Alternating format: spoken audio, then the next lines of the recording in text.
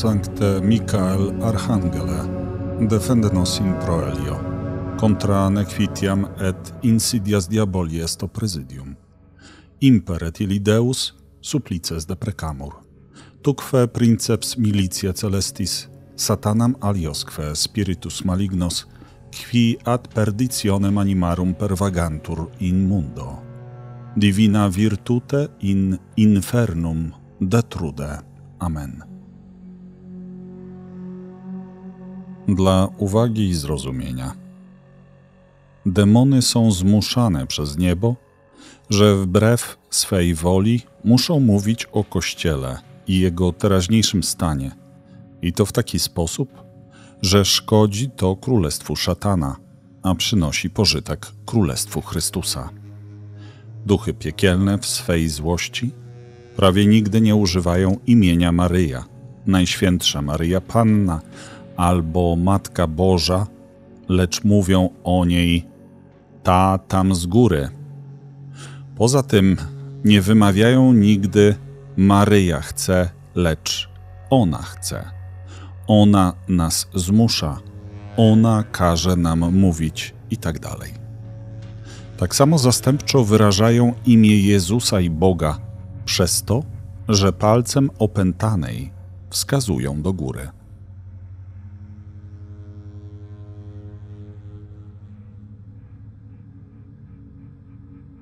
Krytyczne głosy o pierwszym wydaniu.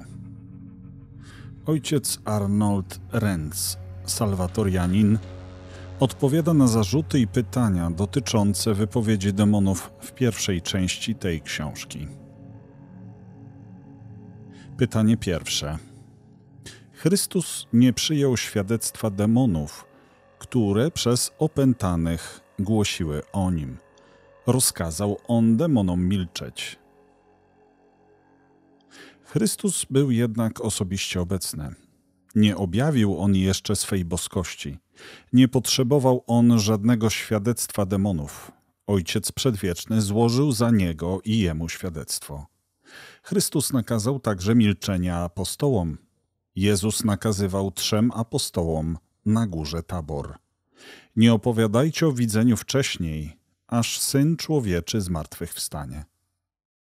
Chrystus przygotowywał ludzi stopniowo na objawienie swej boskości, dlatego odrzuca Chrystus świadectwo demonów. Pozwala jednak, aby powiedzieli: My wiemy, że jesteś święty Boży. Mógł także przeszkodzić w wypowiedzeniu tego, jednak tego nie uczynił. Pytanie drugie. Mamy urzędową naukę Kościoła i nie potrzebujemy wypowiedzi demonów. Odpowiedź. Demoni nie mówią nam żadnych nowych prawd wiary. Gdy mówią za siebie, mianowicie to, co chcą, to wtedy zwyczajnie pomieszana jest prawda z fałszem. Ciekawe pytania nie powinny być w ogóle stawiane. Jeżeli jednak zostaną postawione, musimy się liczyć z kłamliwą odpowiedzią.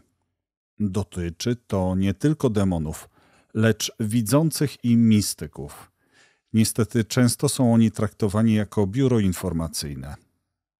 Już proboszcza z Ars, świętego Jana Wianej, zapytano, czy mój mąż jest w czyśćcu? Jego odpowiedź brzmiała, nie mogę tego powiedzieć, ja tam nie byłem. W innym wypadku powiedział jednak wyraźnie, ten wymieniony jest uratowany. Miał on jeszcze czas do wzbudzenia skruchy. Nie była odpowiedź na pytanie postawiona tylko z czystej ciekawości. Jest faktem. Demony istnieją.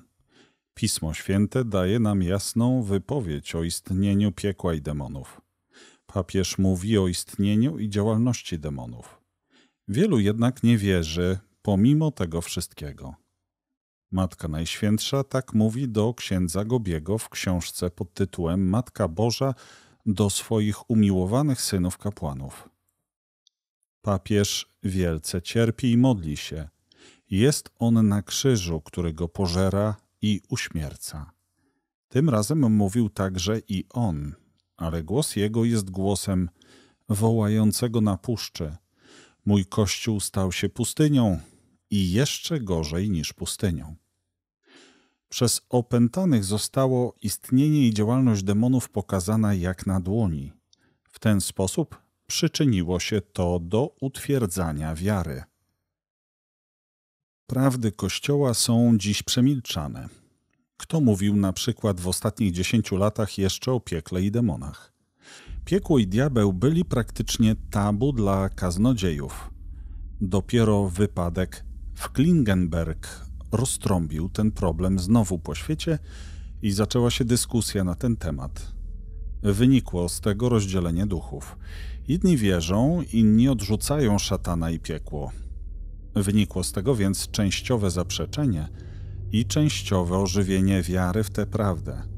Wielu przypomniało sobie te prawdy o szatanie i o piekle. Nie stałoby się to w takiej mierze bez wypadku w Klingenberg.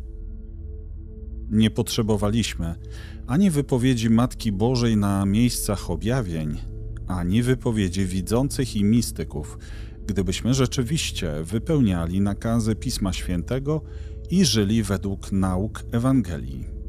Tak mówi na przykład Matka Najświętsza do księdza Gobiego w wyżej wymienionej książeczce na stronie 168. Moje orędzia będą tym częstsze, im więcej cichnie głos mych sług w głoszeniu prawdy. Tak ważne dla waszego życia dzisiaj prawdy nie są już głoszone.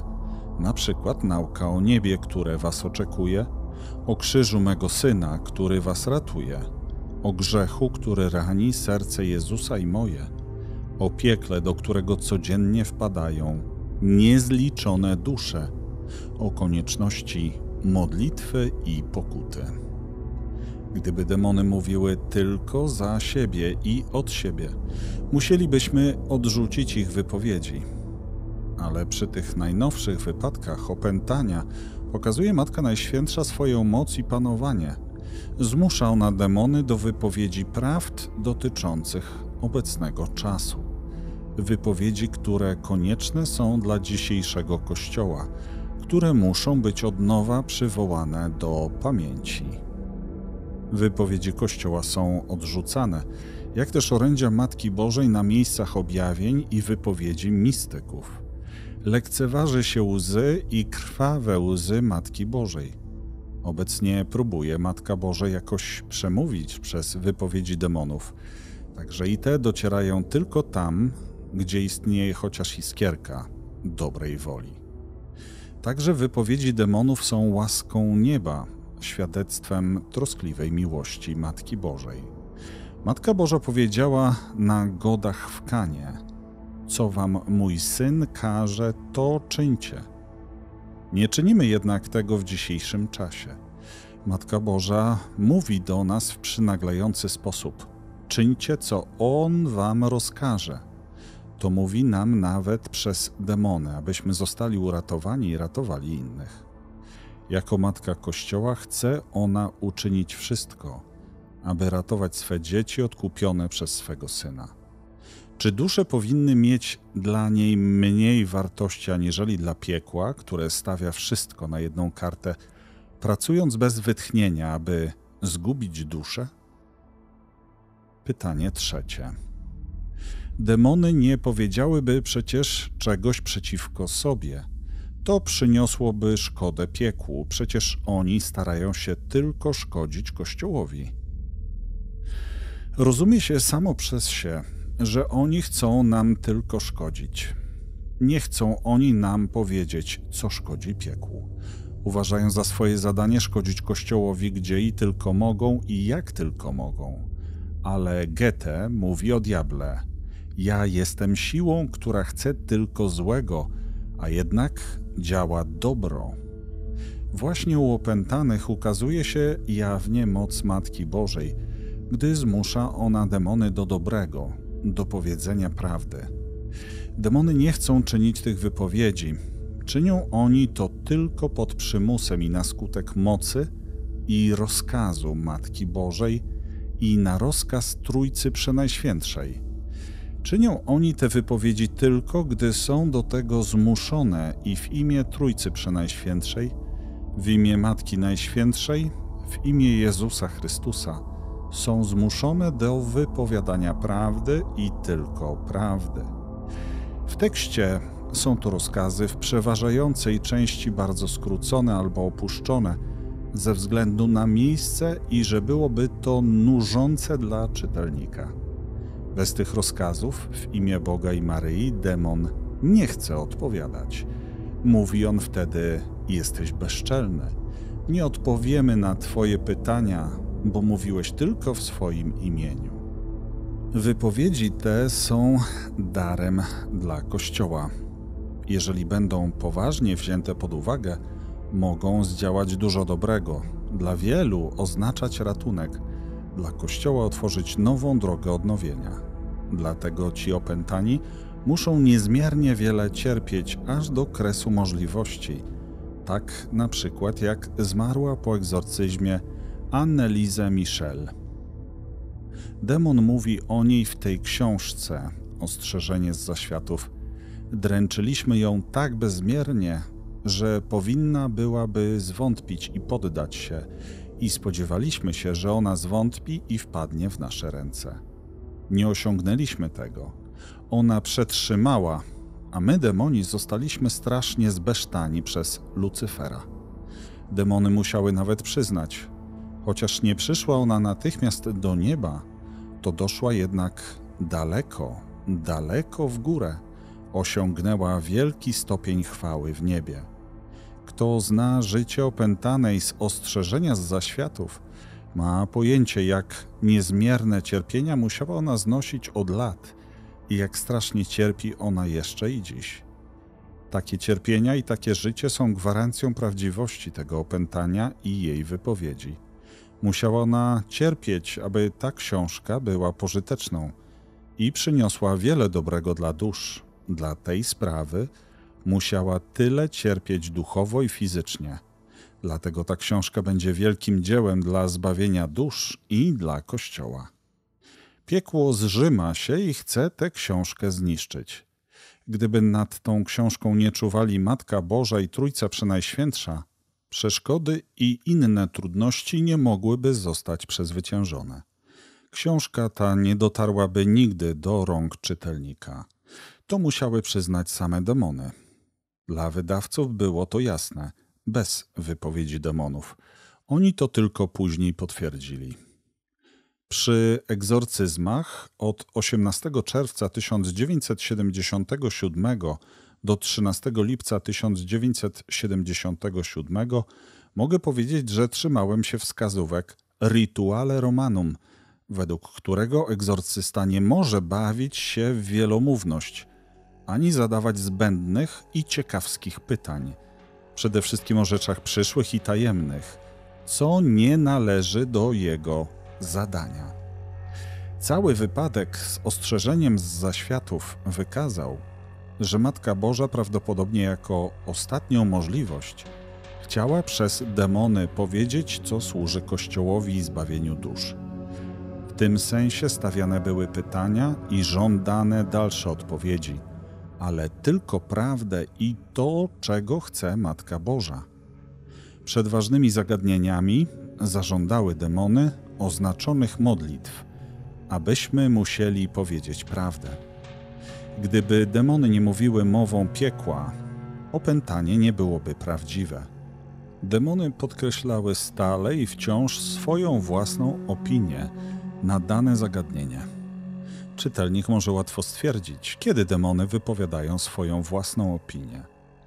Demony są przywiązane, związane z narzędziem i mówią na jego sposób. Istnieje także możliwość, że wpływają na myśli narzędzia. Dlatego pozostaje zawsze zadanie, aby przebadać wypowiedzi według prawdziwej nauki Kościoła. Badajcie wszystko, a co jest dobre, zatrzymujcie. W czasie, w którym demony posiadają szczególną moc i nie trudno to stwierdzić naocznie, wydaje się całkiem odpowiednie, aby Matka Boża była zwyciężczynią Boga we wszystkich bitwach, w których głowa szatana zostaje starta. Zmusza ich wbrew ich woli do wypowiedzi dla zbawienia ludzi i ratunku Kościoła. Także i to jest triumfem Matki Bożej. Jeżeli ona ciągle i wciąż żąda, aby książka ta została wydrukowana jak najprędzej, ponieważ czas nagli, nie mogłyby niejasności w tej książce być wyjaśnione pod tekstem. W całej sprawie tej książki wiele się modlono. Nawet demony musiały z polecenia Matki Bożej żądać pewnych modlitw. Módlcie się wiele do Ducha Świętego. Jeżeli także czytelnik uczyni zadość temu wezwaniu, wyciągnie z lektury tej książki obfity pożytek i będzie miał zrozumienie, dlatego że nie wszystkie wypowiedzi zostały napisane w całej rozciągłości. Część druga. Ostrzeżenie z zaświatów o Kościele naszych czasów. Wypowiedzi demona Belzebuba na podstawie taśmy magnetofonowej przy egzorcyzmie. Potwierdzenie wypowiedzi w tej książce. Po intensywnej modlitwie i wielu nocach wynagradzających z jedynym pragnieniem, aby spełniła się wola Boża, nastąpił 13 lipca 1977 roku ostatni egzorcyzm przed oddaniem do druku tego drugiego rozszerzonego wydania. W imię Trójcy Przenajświętszej, niepokalanego poczęcia, aniołów i świętych zostało nakazane demonom z mocy urzędu kapłańskiego, aby mówiły prawdę i nic więcej jak tylko prawdę, którą musieli z polecenia królowej aniołów i matki Kościoła dla naszego zbawienia wypowiedzieć. Czy demoni nas oszukali? W których tekstach gotowych właśnie do druku oszukaliście nas? Gdzie tkwi w nich błąd? Rozkazuję ci to powiedzieć w imię. Jeśli bym tego nie musiał powiedzieć, to w ogóle nic nie mówiłbym. Ona, ta z góry, każe powiedzieć i Trójca Przenajświętsza. Oni każą powiedzieć. Jest to smutne. To jest bardzo smutne, że ci z góry musieli tak wiele kazać powiedzieć przez demony, ponieważ nie wierzę się mistykom.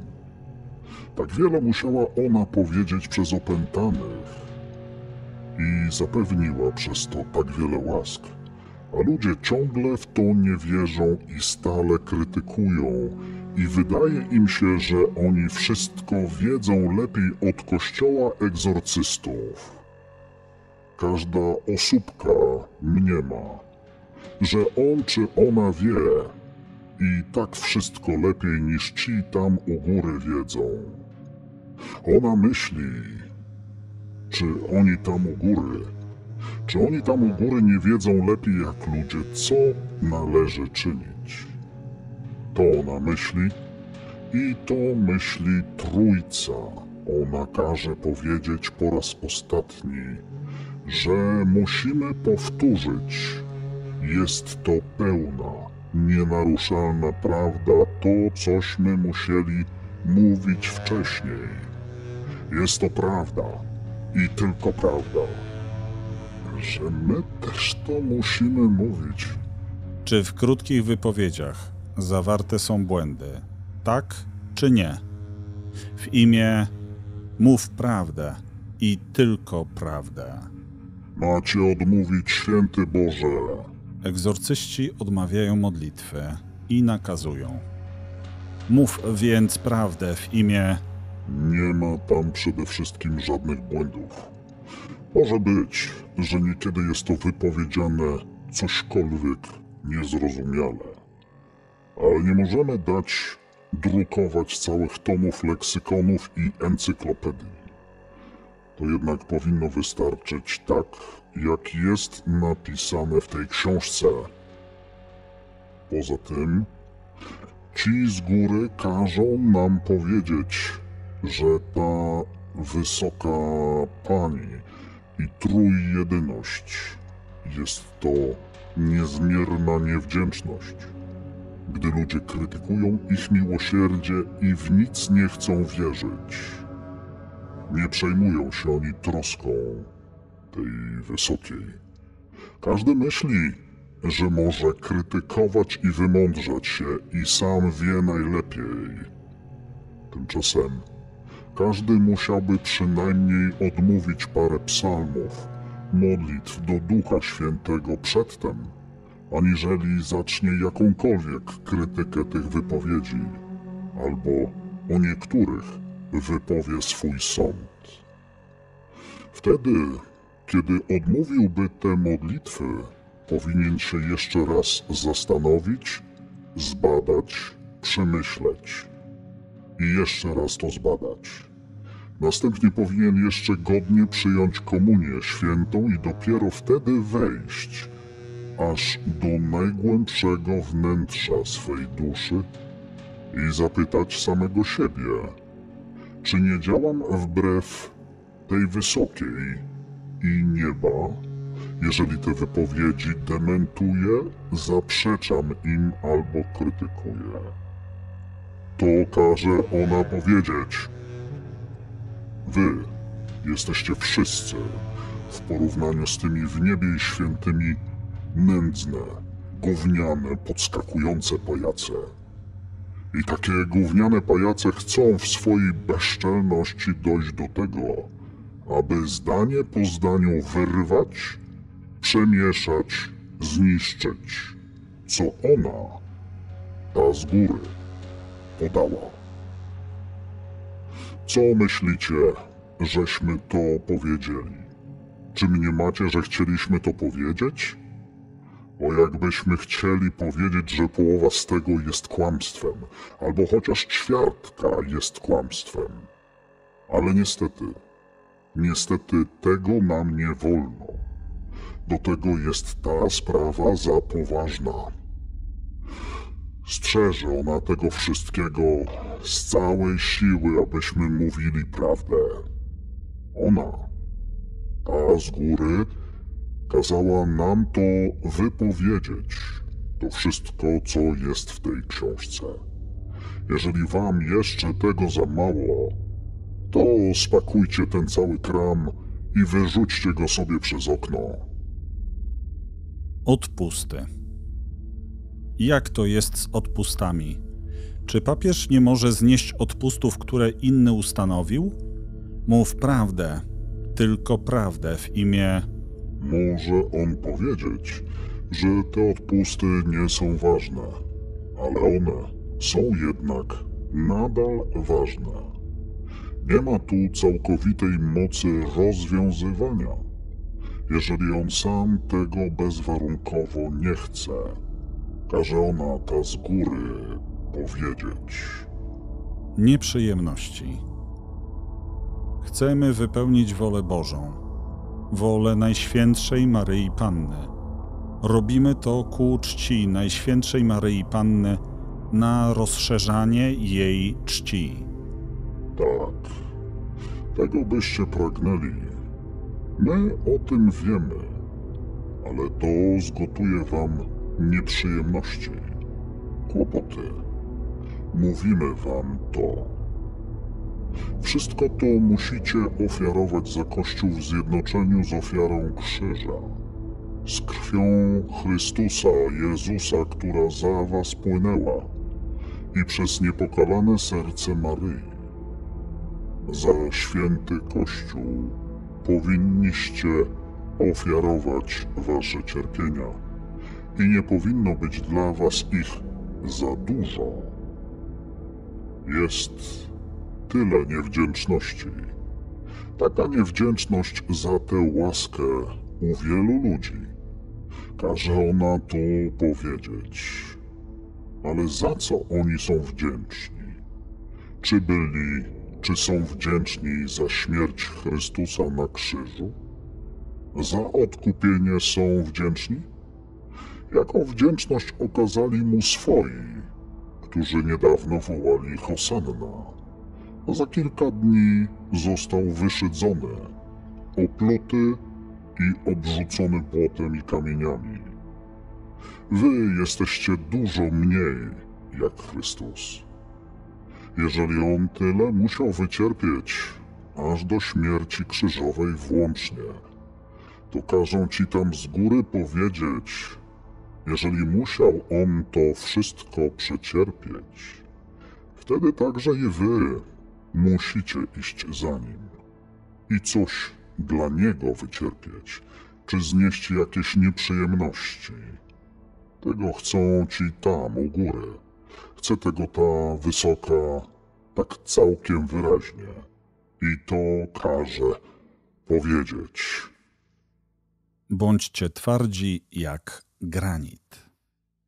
Dla czci Matki Bożej, powiedz, co chce nam jeszcze powiedzieć w imię Ona jeszcze raz każe powiedzieć. Bądźcie twardzi jako granit i bądźcie niezłomni jak żelazo i niewzruszeni jak marmur. Idźcie prostą drogą, wytrwale, krok za krokiem. Nie patrzcie ani na lewo, ani na prawo, ani na wschód, ani na zachód. Patrzcie jedynie i tylko w górę. Idźcie za tym, czego ona chce. Idźcie za prawdą. A taka jest jej wola, to każe ona powiedzieć, ta wysoka. błogosławieni, którzy nie widzieli, a jednak uwierzyli. Ona każe powiedzieć. Wszyscy, którzy w tym uczestniczą i będą to czytali, nie powinni negatywnie się do tego odnosić i mówić: Nie możemy w to wierzyć, ponieważ po prostu nie zostało to jeszcze w pełni udowodnione. Nie do tych odnosi się to powiedzenie: Błogosławieni, którzy nie widzieli, a uwierzyli.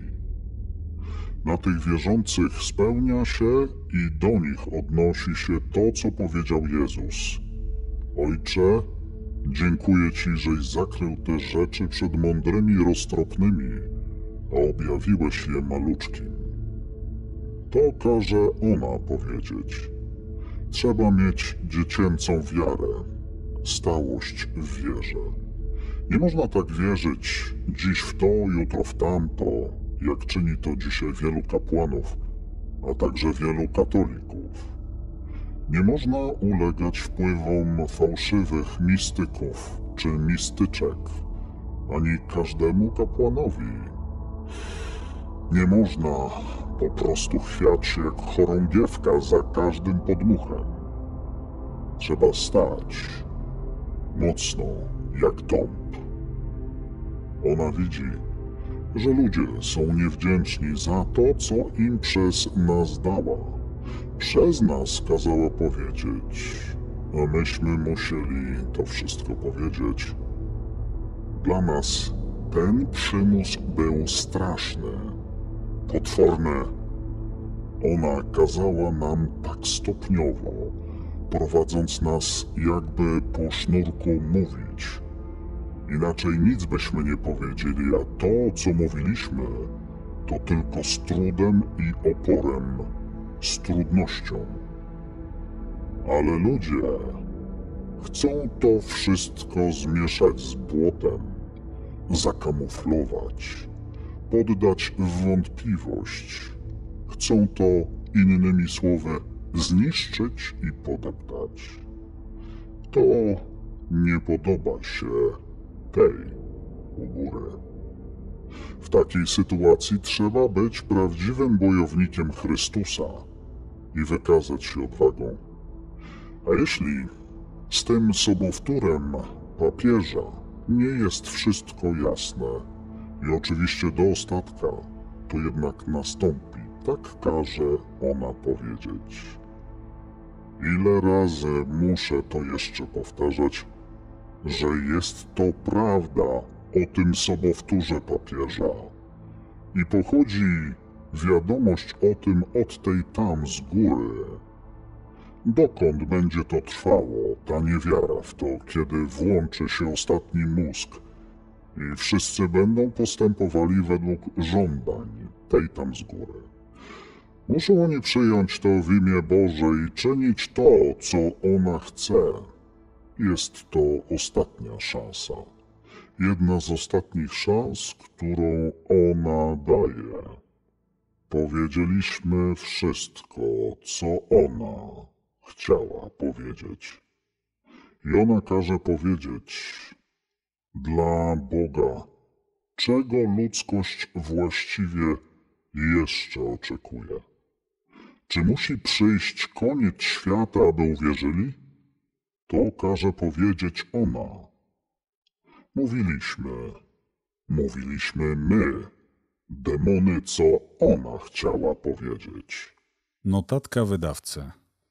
Z wielkim naciskiem żądała Najświętsza Maryja Panna przez demony podczas egzorcyzmu, aby wypowiedzi o sobowtórze Pawła VI zostały w książce opublikowane, pomimo że kardynał Seper zdecydowanie odrzucił tę wersję.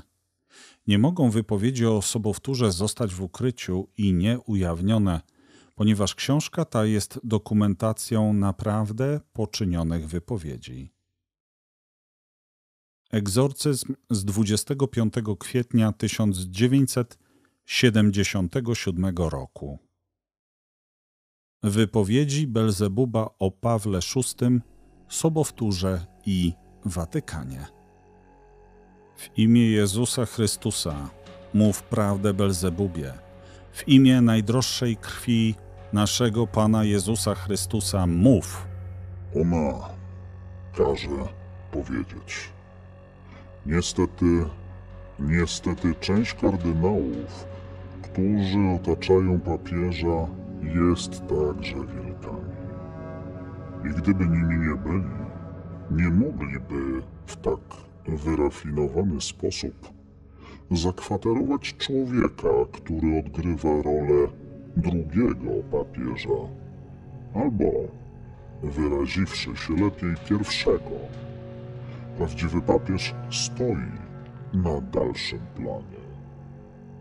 Jest to smutne, że to czynią, ponieważ przez to skazują prawdziwego papieża na wiele okrutnych mąk, których w przeciwnym razie nie musiałby znosić. Tymczasem czynimy wszystko, aby przeszkodzić, by spostrzeżono, że działa tam drugi papież My jesteśmy więcej wyrafinowani, aniżeli wszyscy ludzie razem wzięci. Czynimy wszystko, aby utrzymać to w tajemnicy. Ja powiedziałem, że potrafią oni to ukrywać z całym wyrachowaniem i że nawet kapłani i świeccy tradycjonaliści nie chcą w to po prostu uwierzyć ani przyjąć tego do wiadomości. Ale niestety, mówię wam, jest to prawda. Oni mówią, nie ma sobowtóra, to jest niemożliwe, jest tylko jeden papież. Trzeba powiedzieć, bądźcie ostrożni i roztropni jak węże. Bądźcie ostrożni i roztropni jako węże ale nie działajcie przedwcześnie z dementowaniem, ponieważ to, ponieważ panuje naprawdę jeszcze jeden fałszywy papież. Imitacja. Ważne jest, aby się ludzie powoli obudzili, ponieważ śpią prawie wszyscy. Wprowadzamy teraz w błąd świeckich, kapłanów i biskupów. I ja wiem, kogo tam jeszcze. Staramy się czynić wszędzie zamieszanie i wpoić im. Nawet kardynałom, którzy wchodzą i wychodzą z Watykanu, możemy ich zaślepić. Możemy tak pokręcić, pomieszać, że tego wcale nie spostrzegają. Dzisiejsza chirurgia stoi na tak wysokim poziomie, że może zewnętrznie człowieka przeformować jak kukiełkę. A jeżeli jest ktoś w Watykanie zasiedziały, jak to jest w wypadku sobowtóra, mogą mu kardynałowie stale wciąż mówić o zwyczajach tu panujących i o wszystkim, co dotyczy praw papieża i wpoić mu to tak, że on nie ma żadnych trudności naśladować mimiki twarzy i co tylko jeszcze potrzeba.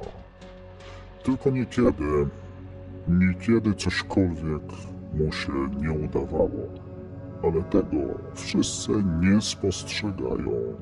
Czy sobowtór jeszcze żyje? Mów prawdę. W imię Tak, on żyje. Jeszcze tą korzyść mamy, że on jeszcze żyje. Miał być zamordowany. To zostało przez nas zainscenizowane, że miał zostać zamordowany. To zostało przez nas przygotowane, aby cała ta zupa przede wszystkim znikła. Na jej rozkaz musimy mówić, że on jest i żyje. Papież cierpi wielkie udręczenie, jak to musieliśmy powiedzieć wcześniej.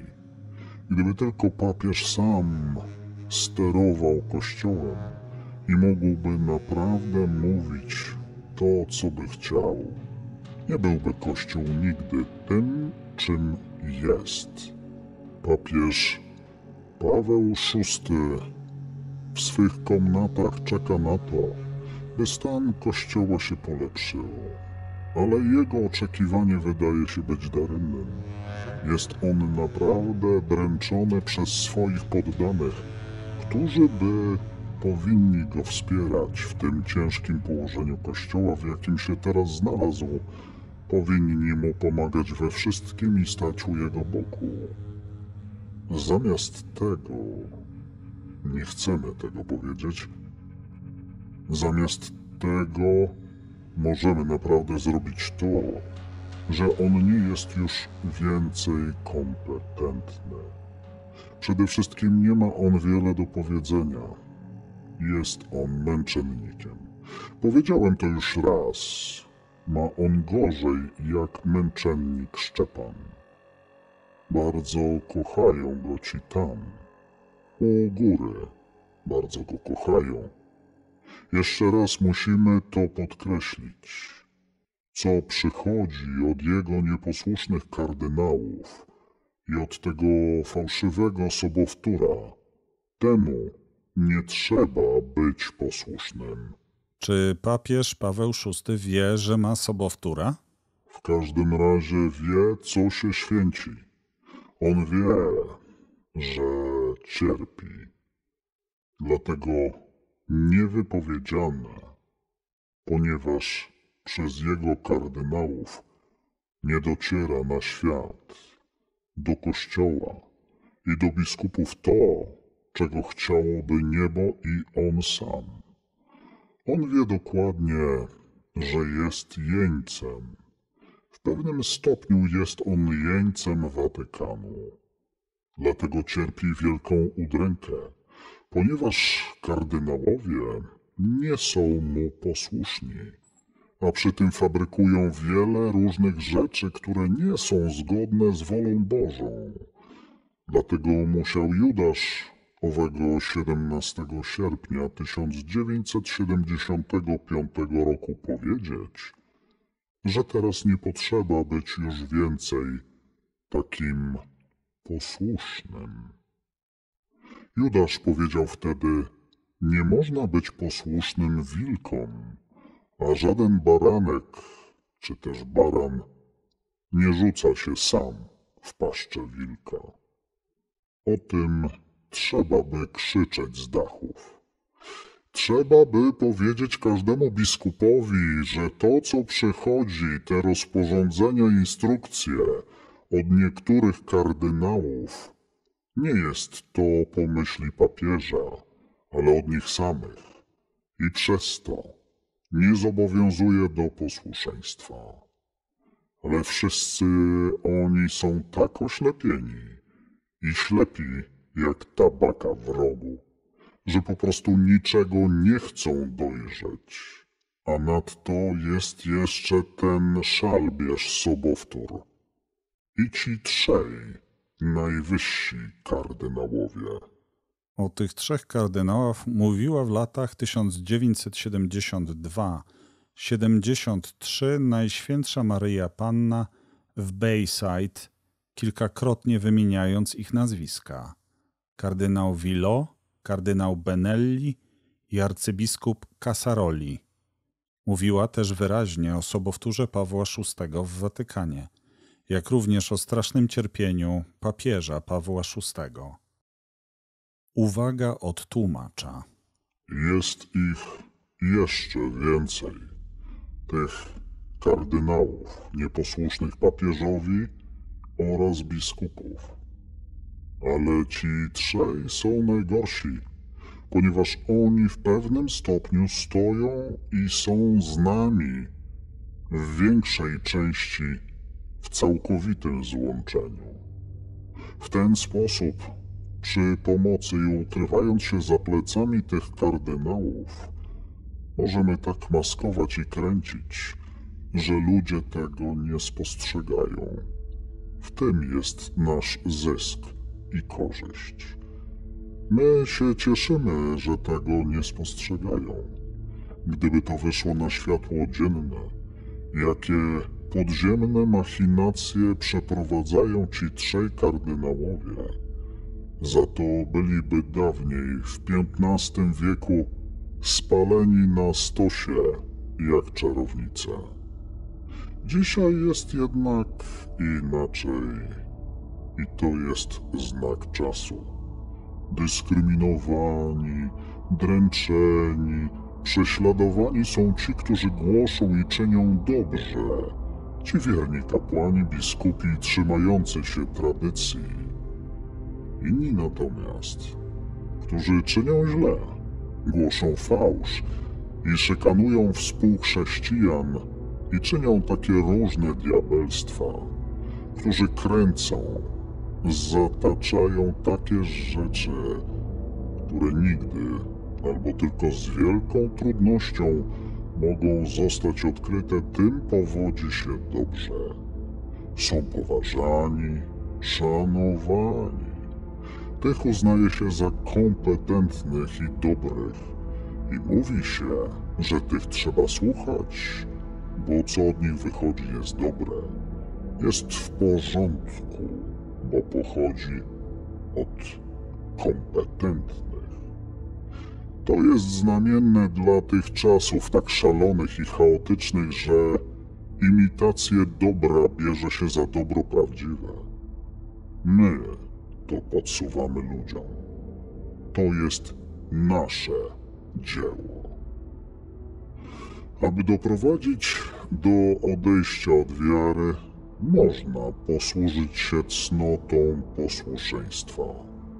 Przełożonym biskupom, oni są kompetentni, trzeba ich słuchać, nie patrząc na ich ortodoksję, czy to należy do podwładnych. Co natomiast jest dobre, ale sprzeczne z zarządzeniami kardynałów i biskupów za plecami papieża, my, demoni, sprzeciwianie się temu ukazujemy jako nieposłuszeństwo i świadomą niewiarę jako brak pokory, tak jak na przykład w wypadku Lefebra. Spośród komunistów i wolnomularzy jest wielu, którzy otrzymują od nas takie siły fizyczne, że nie muszą nawet sypiać. Mogą stale pracować, aby szkodzić Kościołowi. My dajemy im tę siłę. My to potrafimy. My mamy taką potęgę, że możemy im dać tę siłę, jeżeli są z nami sprzymierzeni, że stają się oni burzycielami Kościoła, o czym nie jest w żadnej książce napisane. Przede wszystkim nie jest o tym napisane, co my czynimy, co potrafimy i co tam się kręci u tych wolnomularzy i niektórych kardynałów. Czy papież Paweł VI wie o tych kardynałach? Czy ich przejrzał? W imię Przenajświętszej Trójcy, w imię Najświętszej Maryi Panny, powiedz nam prawdę. On ich już dawno przejrzał. On wie wszystko, wszystko. Nie może jednak nic uczynić. Jego ręce i nogi są, jak to się mówi, związane. Nie może on nic. On otrzymuje zastrzyki. Pewien doktor, słuchajcie to dobrze, który opiekuje się papieżem, jest tak podkręcony, że papież otrzymuje pewnego rodzaju trucizny, które szkodzą mu na głowę i jego myślom. Pomimo to wie on jednak dokładnie, co jest dobre. Matka Boża nie dopuszcza do tego, aby na przykład powiedział: Ja ekskomunikuję arcybiskupa Lefebra. Do tego nigdy nie dopuściłaby ona. Ale pomimo wszystko siły jego są tak sparaliżowane i tak zredukowane, że nie ma on mocy wystąpić sam przeciwko wszystkim. To jest jego męka i to jest także ciężkie doświadczenie, dopust z góry. Jest on, jak już powiedziano, papieżem męczennikiem. Kto w to nie wierzy, zobaczy to jeszcze, kiedyś się im oczy otworzą. Nie chcemy tego, aby doszło to do wiadomości ludzi, bo to by wyszło nam na szkodę. Dzień i noc musimy pracować nad tym, aby nie wyszło to na światło dzienne. Wielu to już spostrzegło, ale większość nie. Prawda zawsze na wierzch wychodzi, w końcu zawsze wychodzi. Nim to jednak nastąpi, wielu ludzi musi strasznie cierpieć i umrzeć wśród wielkich cierpień, jak to ma też miejsce z obecnym, prawdziwym papieżem. W związku z tym muszę jeszcze to powiedzieć. Muszę o tym mówić, co i jak tego chcą ci, tam u góry, że oni zainscenizowali tę książkę dla Kościoła. Muszę powiedzieć, że żadna ważna wypowiedź i w ogóle wszystkie wypowiedzi napisane w tej książce nie byłyby takie i nie przedstawiałyby się tak, jak tego chce niebo, gdyby nie wola nieba, gdyby oni tego nie strzegli. Nawet przy tych małych wypowiedziach nie dopuszczali oni, aby były zafałszowane.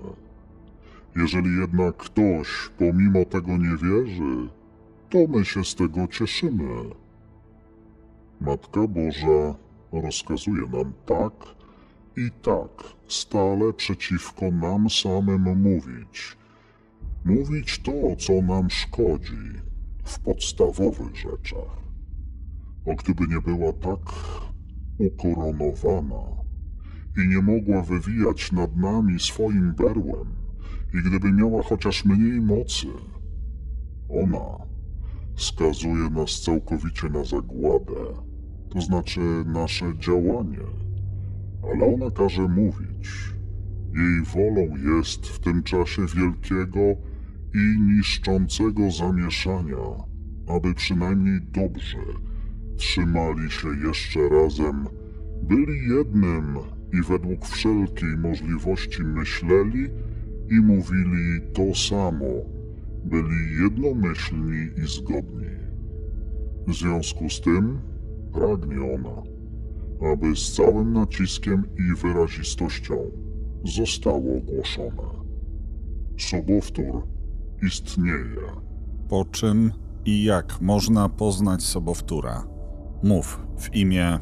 To musieliśmy już dawniej powiedzieć. Weźcie do ręki manuskrypt. Tam napisane jest więcej, aniżeli chcieli powiedzieć. I zbierzecie razem nasze wypowiedzi o sobowtórze. Następnie czytajcie o nim w książce Kolberga, Rewolucja, przewrót w Watykanie. Czy to się zgadza, czy jest zgodne z prawdą, co Kolberg napisał? To jest prawda. Kolberg mówi prawdę w swej książce. Są tam niektóre małe rzeczy, które nie są całkiem jak się rzeczywiście odbywały, ale one nie odgrywają większego znaczenia. Czy masz jeszcze coś do powiedzenia, albo to już wystarczy? Mów w imię. Ona nie chce już dziś nic więcej powiedzieć. Tylko tyle. Ale aby wreszcie według tego orientowano się, co kazała powiedzieć. 12 stycznia 1976 roku została o sobowtórze uczyniona następująca wypowiedź. Nie została jednak ona umieszczona w pierwszym wydaniu tej książki. Podajemy ją tutaj. Wypowiada się demon Weroba.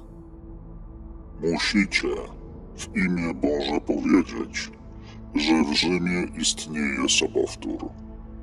Ma on trochę inną twarz, aniżeli prawdziwy papież, a oczy jego nie są tak bardzo wypadnięte jak tego ostatniego. Prawdziwy papież jest mizerny i słabowity. Oczy u prawdziwego są błękitne, a zielone u fałszywego. Fałszywy papież studiował teologię. Jest on wyświęcony. Jest dobrym aktorem. Nie on sam jest winien.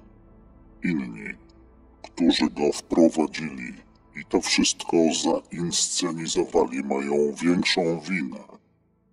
Korpus dyplomatyczny spostrzega dobrze to łajdactwo, ale wielu nie chce wcale tego ujrzeć. Dziwne jest, że świeccy tego nie widzą. Powinni oni się zorientować, gdyby nie był dobrze ucharakteryzowany. Pomimo to wygląda trochę inaczej aniżeli prawdziwy papież. Niektórzy kardynałowie go zainscenizowali. Uczynili to tak, że zwiedli nawet dobrych, co przepowiedziało Pismo Święte. Ale teraz ludzie nie zaglądają już tak do Pisma Świętego. Jan XXIII i Sobór. Egzorcyzm z 18 czerwca 1977 roku. Belzebubie, w imię Najświętszej Maryi Panny, powiedz nam prawdę. Jan XXIII zaczął swój pontyfikat w 1958 roku. Ten Jan, on nie był bardzo inteligentny, nie był także bardzo wykształcony. O tym nie chcielibyśmy mówić. Ale teraz jest przecież wysoko w niebie.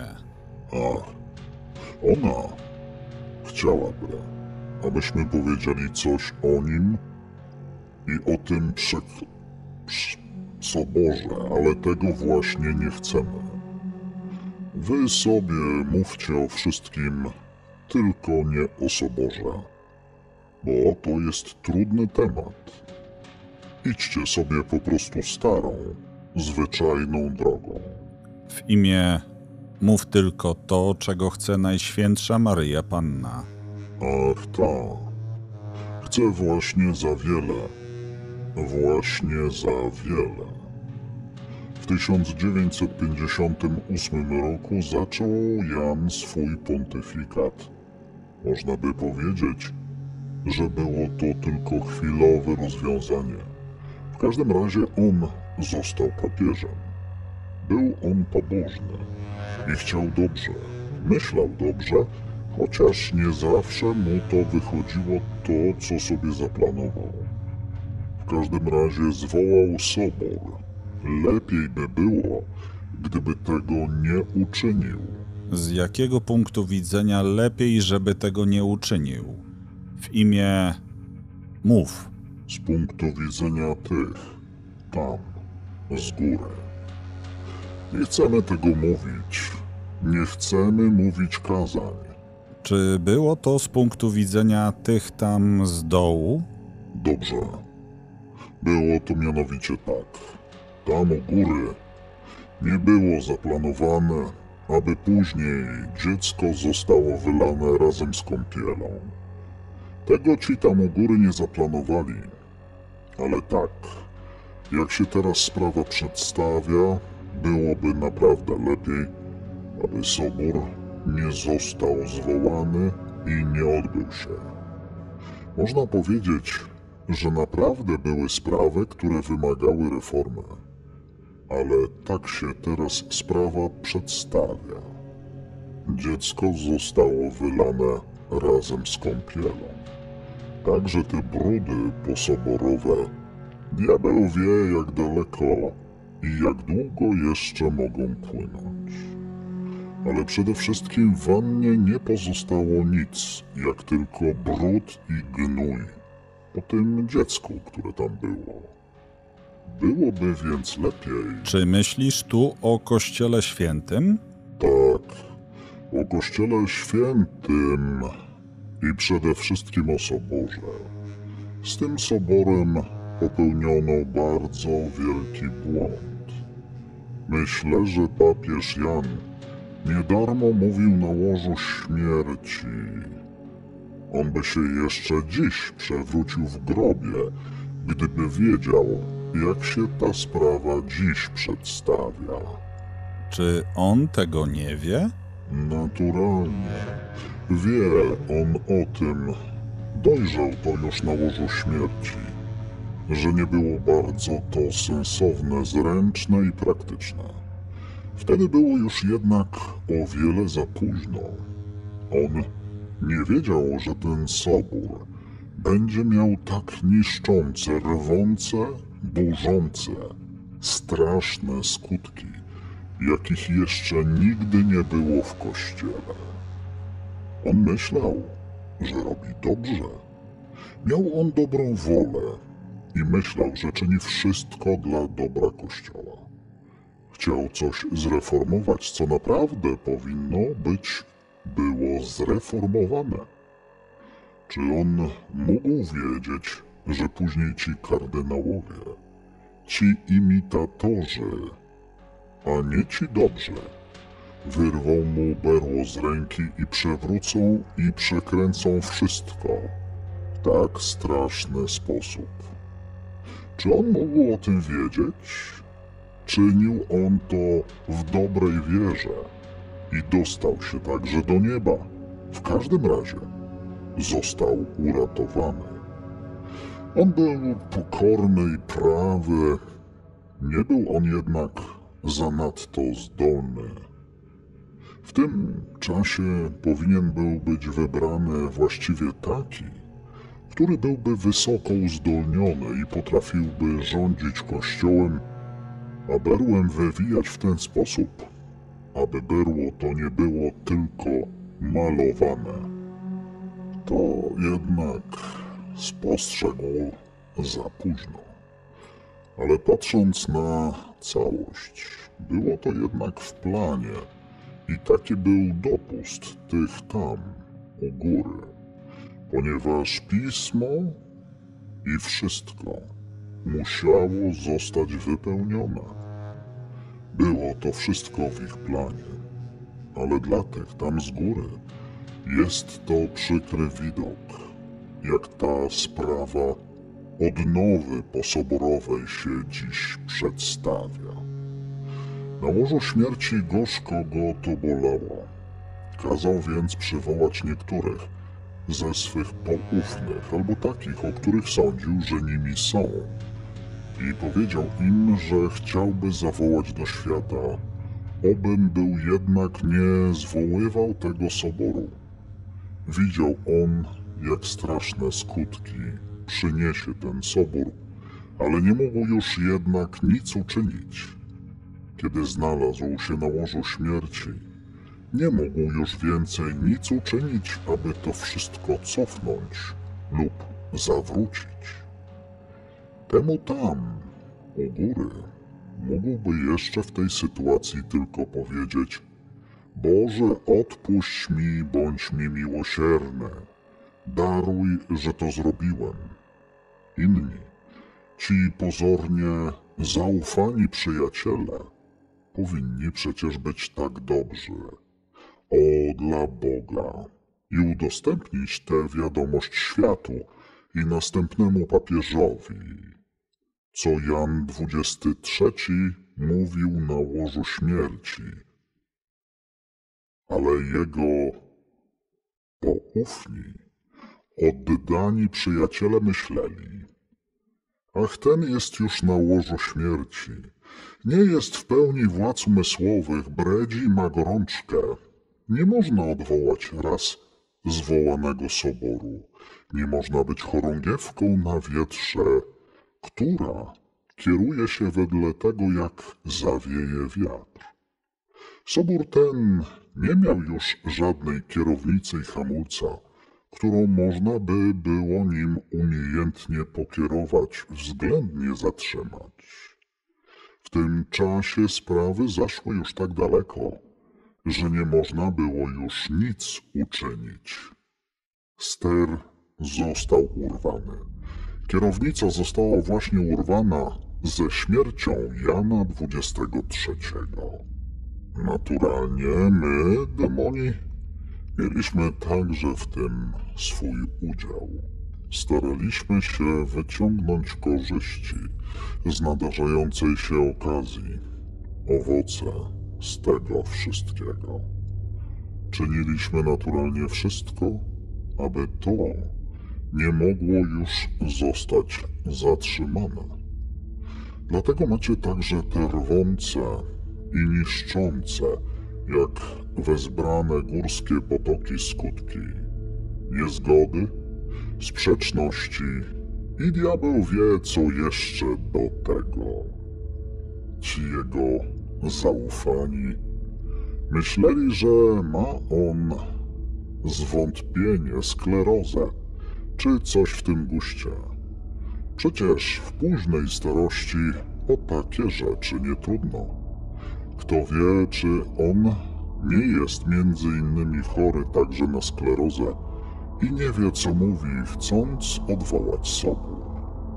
Ci tak zwani zaufani przyjaciele powiedzieli do siebie, że w żadnym wypadku nie może się to, co on mówił o tym wstrzymaniu soboru, przedostać do świata.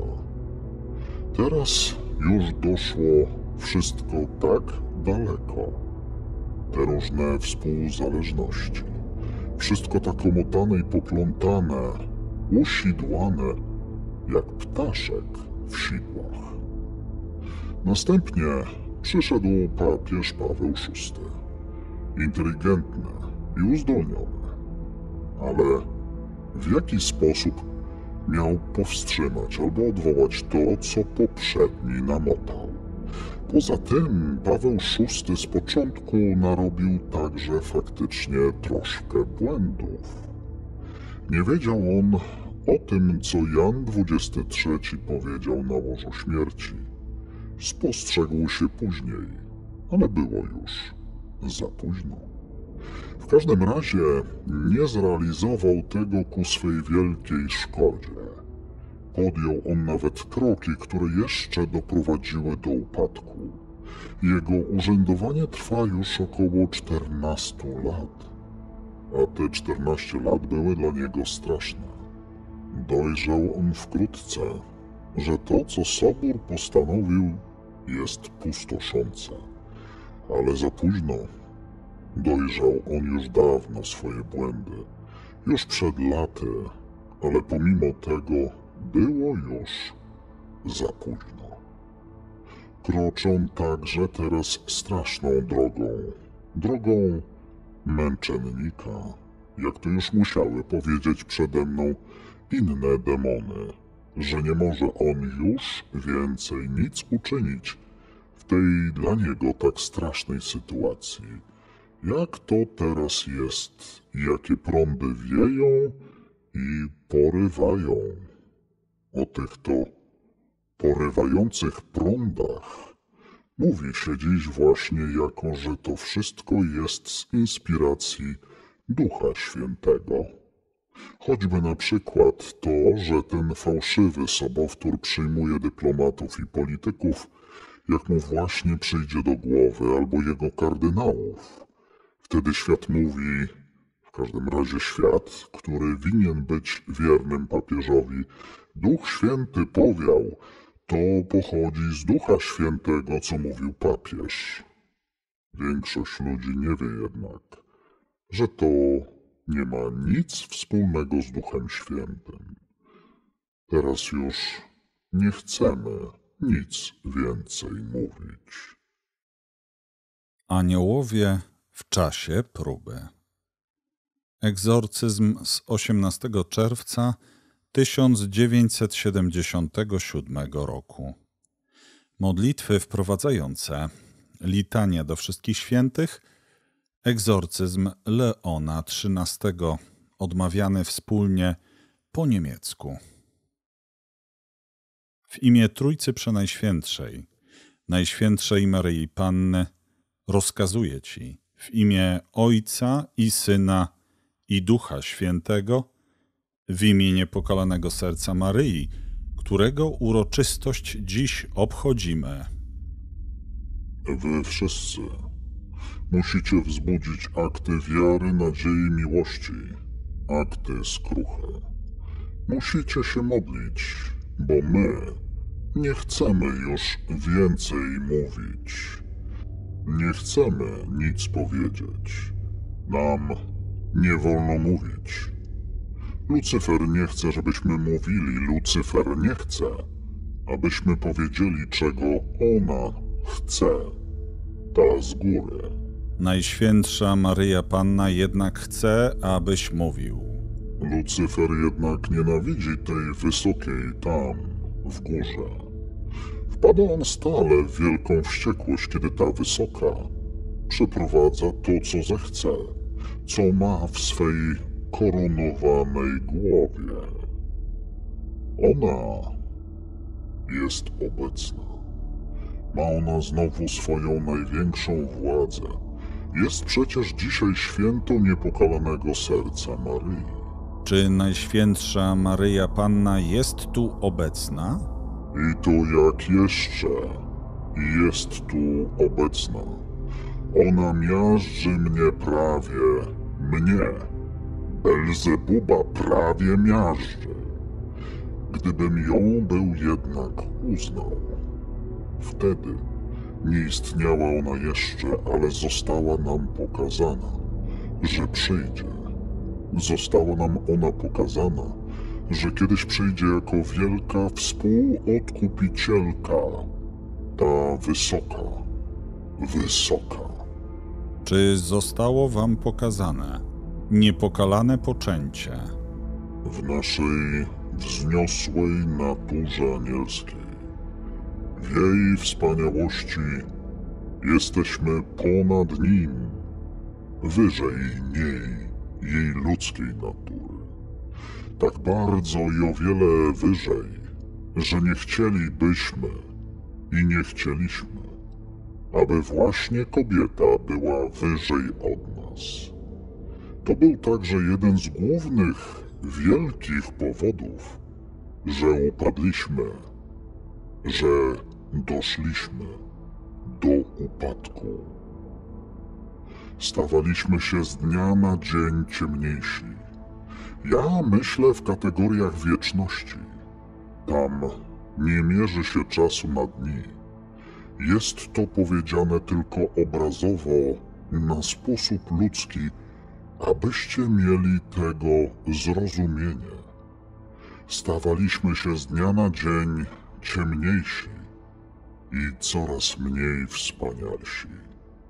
Traciliśmy coraz bardziej na blasku i wspaniałości, aż doszło do tego, że Michałek, który poprzednio był takim małym aniołkiem, och, Michałek, Michałek, wtedy oszaleliśmy, że Michałek, który dla nas był malutkim aniołkiem, teraz stał się najwyższym wodzem i prawie że mógł nas rozdeptać.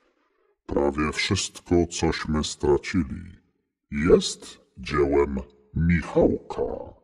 Czy teraz święty Michał Archanioł jest najwyższym z aniołów? Niestety, teraz jest. Ten tam, u góry, musiał mu z pewnością dać wysokie stanowisko, aby mógł wykonywać nad światem władztwo aniołów.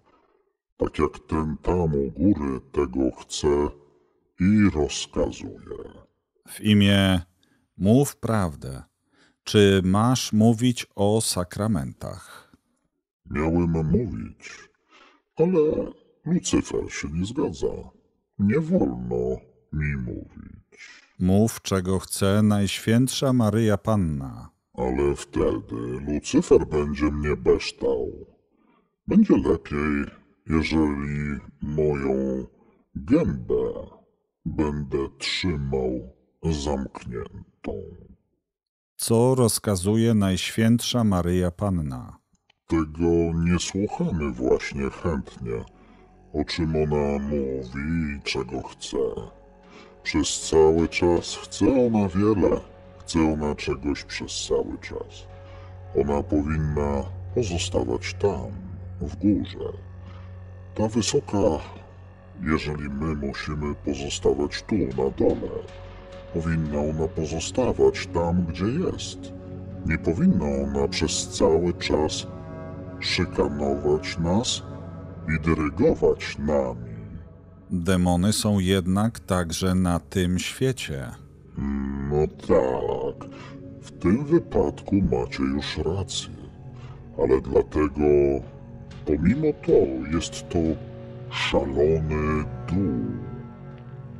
Ona nie musi przez cały czas nas szykanować i dyrygować nami. To jest dla nas przeklęta sprawa. O tym nie chcielibyśmy mówić. To nie jest nasza branża i nasza sprawa, czego ona tam u góry chce od nas. Nie powinna ona krzyżować naszych planów. Ona ma stale takie kościelne idee. Ja nie chcę nawet głośno o tym mówić, gdyż w końcu przyjdziecie znowu z wodą święconą i błogosławieństwem. Ona myśli. Tego nam jeszcze brakuje, że ona teraz tego chce. Ona myśli, że powinniście uklęknąć i najpierw odmówić trzy razy święty Boże i koronkę do łez Najświętszej Maryi Panny. Ale my myślimy, że wy wcale nie powinniście się modlić, bo im bardziej się modlicie, tym bardziej my przeciwko wam walczymy. Wy nas prowokujecie i podniecacie tymi swoimi modlitwami. Wasze życie będzie o wiele łatwiejsze, jeżeli się nie będziecie modlić i będziecie raczej czynić, czego my chcemy. Prześladuję was tylko za to, że macie te szalone idee, wspólne z nią, odmawianie modlitwy święty Boże, czy też tą koronkę. Z koronki do łez Najświętszej Maryi Panny zrezygnowaliśmy bardzo chętnie. Koronka do krwawych łez byłaby naprawdę lepsza, ale wy musicie się modlić tylko do łez. Dwie razem byłyby lepsze. Demon krzyczy, zwrócony do jednego z kapłanów. Czy ty nie możesz odsunąć swoich łap? Nie znosimy takich poświęconych łap. A tego różanego także nie. Dusze czyśćcowe, czyściec i odpusty.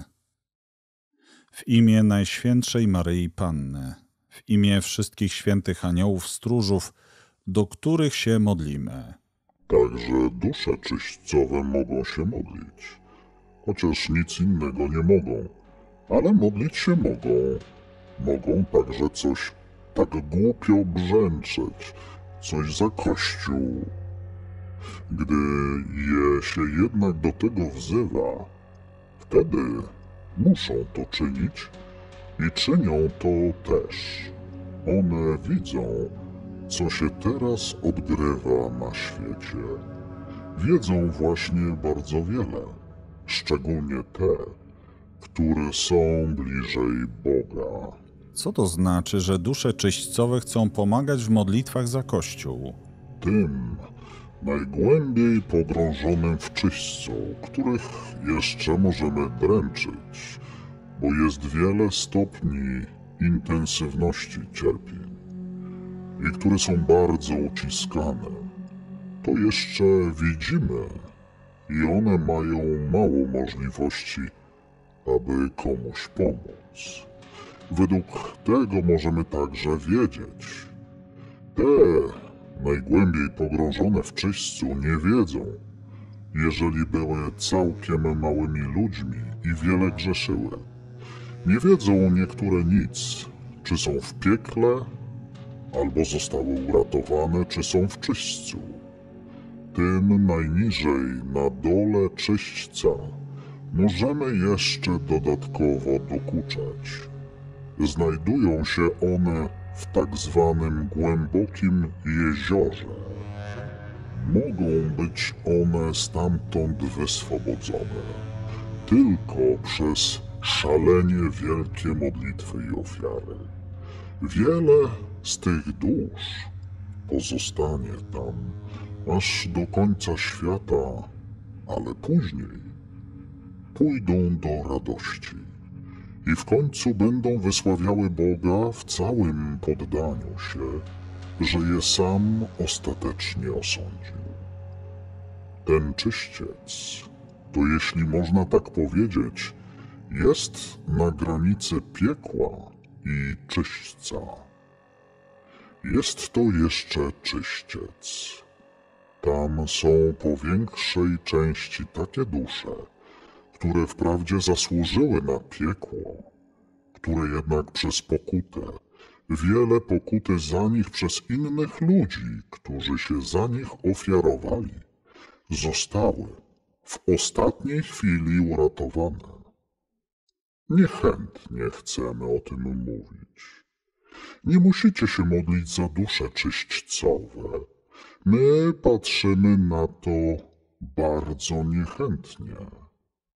Oni, tam u góry, myślą, że Judasz musiał to już powiedzieć 31 października, że biedne dusze czyśćcowe są teraz bardzo poszkodowane.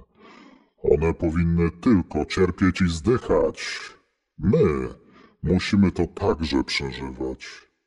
Wy nie musicie teraz prosić o odpusty, jak to teraz prosicie i jak to Kościół teraz zarządził.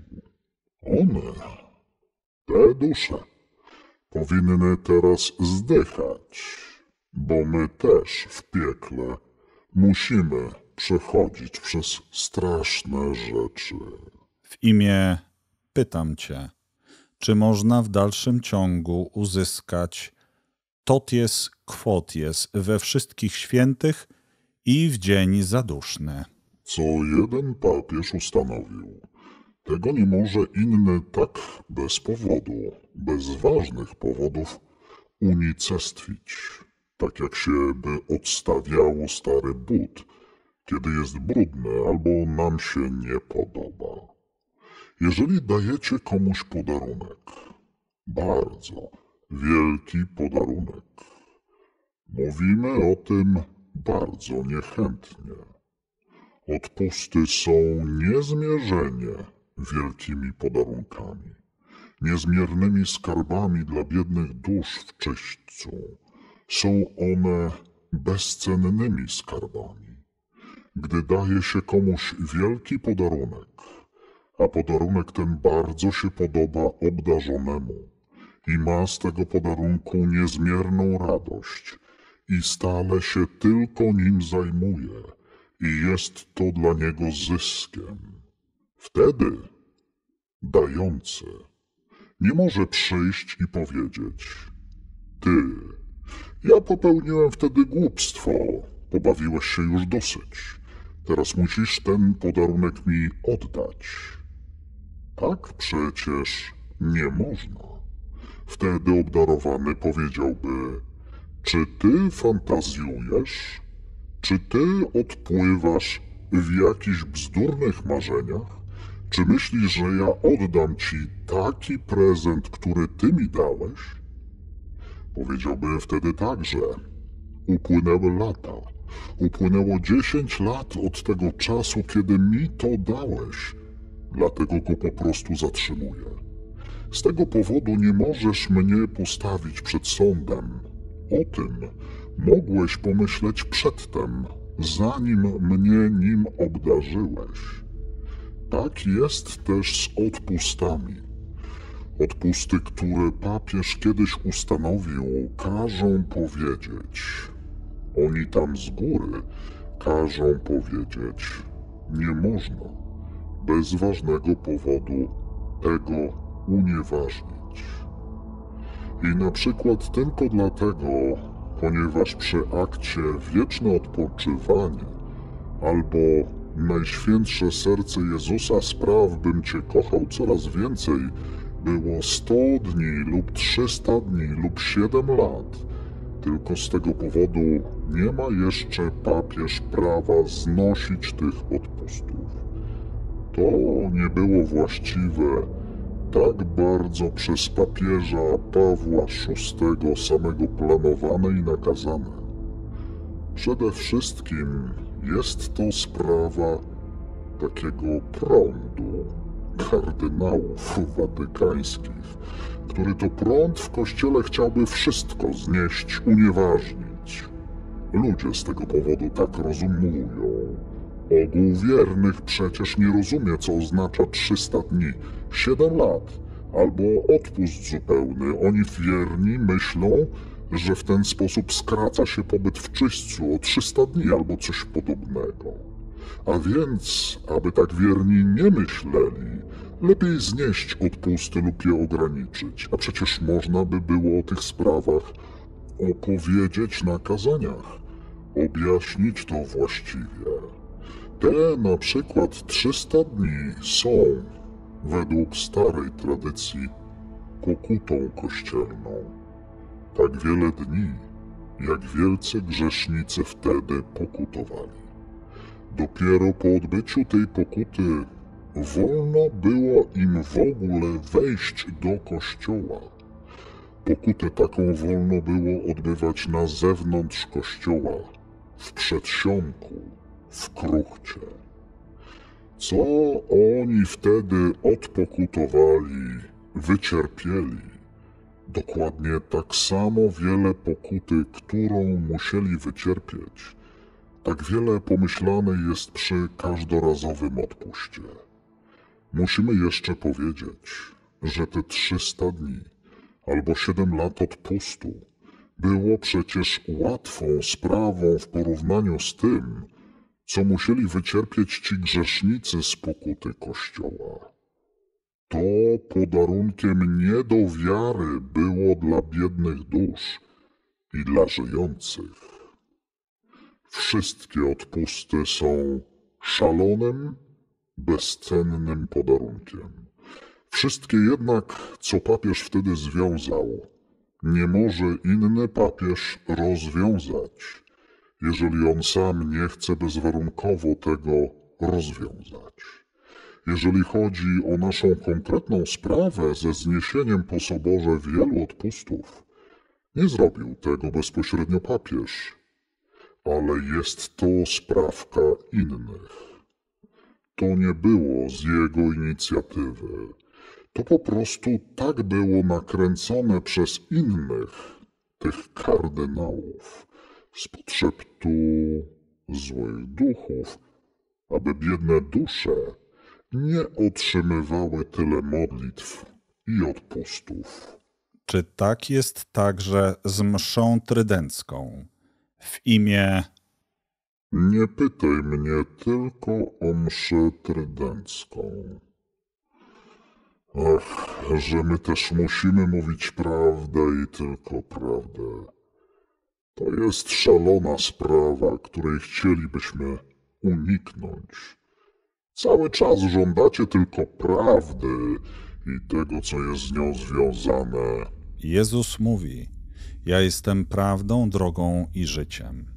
My chcemy prawdy i tego, czego chce Jezus i Najświętsza Maryja Panna. Mów w ich imieniu prawdę i tylko prawdę. Sakramenty święte.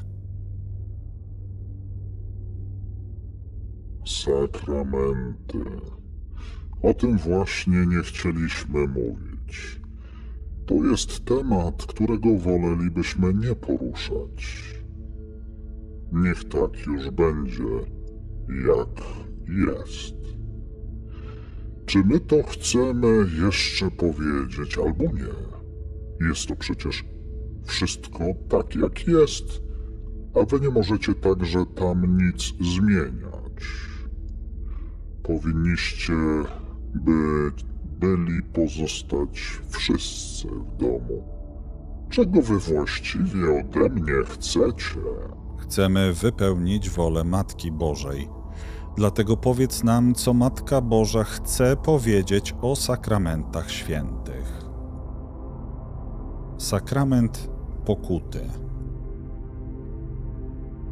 Sakrament pokuty. To jest także coś takiego. To nie pochodzi w pierwszym rzędzie od papieża, a spowiedź powszechna z ogólną absolucją. Te tak zwane nabożeństwa pokutne, które mają zastąpić spowiedź indywidualną, uszną. Nie powiedział on także, że to zastępuje prawdziwą spowiedź. To jest zarządzenie od nas, z piekła. Na zachodzie Europy i w wielu innych krajach lansowana jest spowiedź powszechna i tak zwane nabożeństwa pokutne, które mają jakoby zastępować spowiedź indywidualną przy konfesjonale. Uwaga tłumacza. Ludzie zatracają bez prawdziwej spowiedzi wszelkie sumienie. Grzeszą wtedy także o wiele więcej. Myślą oni wtedy, jeżeli teraz nie musimy klęczeć przed konfesjonałem, przed jakimś tam starym dziadygą w sutannie i nie musimy wyznawać naszych sprawek, żyć można o wiele swobodniej. Można sobie prędzej pozwolić na jakieś miłostki, albo pozwolić sobie na pieszczoty wobec zamężnej osoby. W takim razie nie musi się z tego spowiadać przed takim tam klechą. Oni u góry nie lubią, kiedy mówi się klecha. Dla nas, dla demonów, są to tylko szaleni gówniani nicponie, czyli klechy. Dalej ludzie myślą. Nie musimy już w pokorze przyklękać i mówić: Zrobiłem to lub owo, byłem u tej albo innej, także u zamężnej. Zawiniliśmy to albo tamto. Myślą oni wtedy po prostu: Teraz możemy sobie na to pozwolić. Sami kapłani mówią dzisiaj, że można odprawiać spowiedź powszechną, pokutne nabożeństwo i wszystko zostanie odpuszczone. Dlaczego mamy sobie nakładać jeszcze wielkie pokuty i upokorzenia? Możemy teraz o wiele więcej grzeszyć. Uklękniemy po prostu na przedzie, albo gdzieś na tyle, jak się będzie nam podobać w nabożeństwach pokutnych, Każemy sobie dać rozgrzeszenie ze swoich grzechów i zostanie nam to odpuszczone, bo kapłan rozgrzeszy. Kapłani mówią jeszcze do tego wszystkiego. Nabożeństwo pokutne zastępuje teraz spowiedź. Tak to obecnie jest. A wy myślicie wtedy, że przy nabożeństwach pokutnych czynią ludzie w pełni to samo, co normalnie przy konfesjonale, przy prawdziwej spowiedzi. Czy myślicie, że te pięć albo sześć, modlitwa, rachunek, sumienia i tak dalej, pięć warunków dobrej spowiedzi wypełnia się w nabożeństwach pokutnych? Modlitwa, rachunek sumienia, żal za grzechy, mocne postanowienie poprawy, spowiedź, wyznanie grzechów, zadośćuczynienie. Mów w imię. Trzeba pokutować naprawdę, a nie tylko zrobić, odmówić żądanie na spowiedzi, zadośćuczynienie, na przykład odmówić Ojcze Nasz, zdrowaś Maryjo. To nie wystarczy. Muszą oni także odpokutować za kary doczesne. To mogliby oni uczynić, zyskując liczne odpusty, a wtedy odpuszczone by im były na przykład te 300 dni, czy też te 7 lat, albo diabli wiedzą, co jak papież udzielił za daną modlitwę, praktykę te odpusty. Odpusty te są ważne jeszcze i dziś. Ludzie jednak tego nie chcą wiedzieć. Musielibyście to znowu oznajmiać ze wszystkich ambon. Trzeba by ludzi o wiele lepiej przygotowywać na spowiedź. Nie byłoby wcale tego za wiele, gdyby przygotowywali się przez godzinę. Właśnie przy spowiedzi mamy my, demoni, wielkie możliwości. Kusimy człowieka we wszelki możliwy sposób. Staramy się doprowadzić do tego, aby nie wzbudził prawdziwej skruchy. Jeżeli nam się nie udaje, a człowieka opanowuje prawdziwa skrucha, wtedy przychodzimy w trzech albo czterech diabłów. Ci poddają mu różne myśli i wpływają na niego, że się nie chce poprawiać. Przy wielu staramy się także o to, aby nie uznali w pełni grzechu. Wtedy wysyłamy niektórych diabłów. Jeżeli penitent spełnił dobrze kilka warunków dobrej spowiedzi, jeżeli modlił się do Ducha Świętego, uznał swoje grzechy, zbadał swoje sumienie, a później także za nie żałował, żal za grzechy jest główną częścią składową spowiedzi. Chwytamy go jeszcze przy postanowieniu poprawy i staramy się, by nie powziął dobrego, mocnego postanowienia poprawy, a wtedy może spłynąć o wiele mniej łask. Jeżeli człowiek poweźmie dobrze postanowienie poprawy ze swojego głównego grzechu, wtedy dostępuje także pewnych łask. Penitent powinien najpierw spowiadać się ze swego głównego grzechu. Wtedy okazuje się jego pokora. A gdzie pokora, tam spływają łaski, które w przeciwnym razie nie mogłyby nigdy spłynąć. Jeżeli pomimo wszystko nie mogliśmy osiągnąć tego człowieka penitenta, a on w dobrym postanowieniu przystępuje do konfesjonału, wtedy wysyłamy ostatnich diabłów, aby w ostatniej chwili przy wyznaniu grzechów uległ wielkiej bojaźni i nie pragnął, by ich wyznać, chociażby były to bardzo powszednie grzechy. Przy ciężkich grzechach jest jeszcze gorzej jeśli się ich nie wyzna, nie osiąga się stanu łaski, jeżeli się świadomie przemilcza ciężki grzech. Także przy małych grzechach, o których się wiedziało, a nie wyspowiadało z nich, otrzymuje się mniej łaski. Przez to istnieje mniejsza tendencja do poprawy życia. Jeżeli u pobożnych doszliśmy do tego stopnia, dzieje się tak przeważnie u pobożnych i bardzo pobożnych, a penitent klęczy już u konfesjonału i mówi kapłanowi wszystko według swej najlepszej wiedzy i woli i jeszcze więcej. Jeżeli to są tak pobożni i pokorni ludzie, którzy dodają jeszcze Bóg wie co, wtedy spowiedź jest dobra. Przez to dodawanie rozumie się to, że niektórzy ludzie, którzy to wyznają, nie są całkiem pewni, czy to jest grzech, czy błąd. Jeżeli wyznają je pomimo to kapłanowi i muszą się przy tym ciężko upokorzyć, są później spokojniejsi. Przez to upokorzenie i uczciwość osiągają więcej łask. Taka spowiedź jest dobra, zasługująca na miano spowiedzi. Wtedy otrzymują wielką dla nas demonów niszczącą absolucję. Ego te absolvo. Ach, jak my tego nienawidzimy. Jeszcze dzisiaj tego nienawidzimy. Teraz jednak nie musimy się obawiać osobistego rozgrzeszenia w tym stopniu.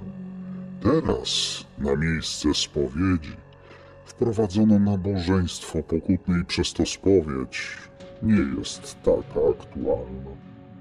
Ach, że my także musimy to mówić. Ona tam, na górze myśli, że powinno to być ogłoszone ze wszystkich ambon, że znowu żądają ci dobrej, indywidualnej spowiedzi przy konfesjonale. Nabożeństwo pokutne nie jest spowiedzią. Jest to masowy spektakl. Jest to jakby jakaś inscenizacja, która po prostu wzbudza złudzenie, że wszystko jest w porządku i zostało odpuszczone i przebaczone. My, demoni, mówimy po takim pokutnym nabożeństwie. Idźcie spokojnie do domu, przyjmujcie spokojnie i bez obawy ciało pańskie. Macie przecież spokój w tych swoich kapeluszach. Możecie być spokojni. Dla tych u góry jest to straszna szkoda. Takie nastawienie jest dla ludzi bardzo, bardzo szkodliwe. Dla nas naturalnie nie. Im większy brak czci, tym my mamy więcej dni radości. Egzorcyzm z 25 kwietnia 1977 roku. Żadnej pierwszej komunii bez spowiedzi. Belzebubie, rozkazujemy Ci w imię Jezusa. Mów prawdę, mów prawdę w imię Trójcy Przenajświętszej. Ona, ta z góry, odnośnie pierwszej komunii świętej, każe powiedzieć, że jest to strasznie niszczące. Jest to straszny minus dla każdego dziecka, kiedy po pierwszej komunii świętej idzie bez spowiedzi świętej przed wielkim i wzniosłym. Musicie, nie chcemy mówić. Mów w imię Jezusa i tylko prawdę, w imię najświętszych sakramentów, tylko prawdę. Musicie przed przyjęciem tak wielkiego sakramentu, ciała i krwi pańskiej, a całkiem szczególnie przed tym, kiedy Chrystus po raz pierwszy przychodzi do duszy i kiedy ma miejsce zjednoczenie nieba z człowiekiem, który idzie do Komunii Świętej, aby taki odbył bezwarunkowo spowiedź, spowiedź dobra, zupełna, obejmująca wszystko, spowiedź, gdzie tego nie ma. Tam zanika cześć, uszanowanie dla Najświętszego Sakramentu. dla nieba. I przed całym świętym obrzędem zanika prawie całe nabożeństwo i cześć. Co jednak jest jeszcze bardziej szkodliwe, ona każe mi powiedzieć to, że nie daje dziecku, które przystępuje do Komunii Świętej, właściwego nastawienia do sakramentu ołtarza, a przede wszystkim do Eucharystii. Dzieci te muszą mieć takie uczucie, że można mieć grzechów ile się chce, pomimo to może pójść do komunii i zostać do niej dopuszczony, gdzie brakuje spowiedzi świętej przed komunią. Tam brakuje niezmiernie decydującego czynnika, którego w większości wypadków, w każdym razie w bardzo wielu wypadkach, nie można już nigdy naprawić.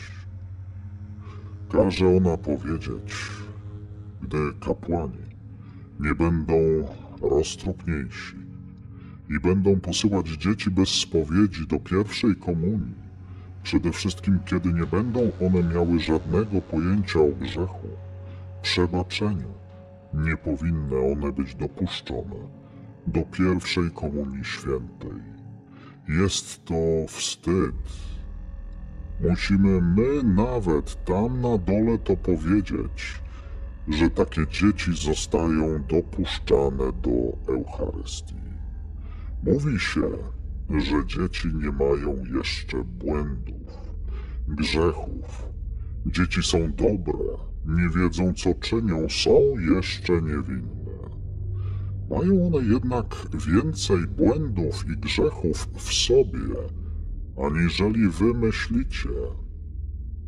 Mamy już tam na dole dzieci.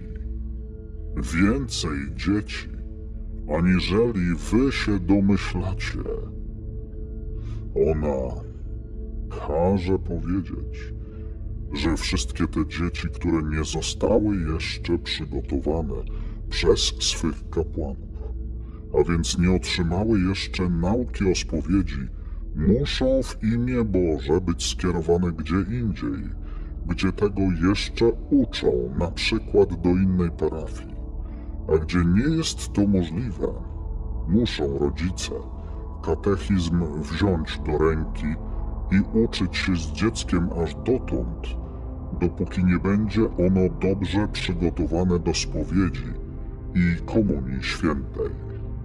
W przeciwnym razie dziecko nigdy nie będzie kroczyć po właściwej drodze. Będzie ono miało później uczucie, będzie tak rozumowało. Poszedłem wtedy do pierwszej komunii świętej bez spowiedzi, a więc wtedy, to dlaczego nie teraz? Później trzeba się. Nie chcemy już więcej mówić, nie chcemy już więcej mówić. Mów w imię Jezusa całą prawdę, co rozkazuje ci Matka Boża. Dochodzi później do tego, u niektórych dzieci, u młodzieży tak daleko, że u nich już nic to nie znaczy przyjąć Najświętszy Sakrament w stanie grzechu ciężkiego. Dlatego wzywa ona wszystkich rodziców, katechetów i nauczycieli, aby powiedzieli dzieciom, by nigdy, nigdy nie przystępowali do komunii bez dobrej spowiedzi. Jeżeli tego nie uczynią, lepiej będzie, jeżeli nie pójdą, ponieważ wtedy jest o wiele mniej łask, nie ma obfitości łask. Trzeba by także ludziom powiedzieć, że jeżeli zachowują przepisy odnoszące się do przyjmowania Komunii Świętej, stan łaski uświęcającej, dobra intencja i przepisana od czasu do czasu spowiedź, wtedy Komunia Święta przynosi o wiele więcej łask, ma o wiele większą wartość, aniżeli wtedy, kiedy wierni przyjmują ciało pańskie bez spowiedzi, to znaczy rzadko się spowiadają.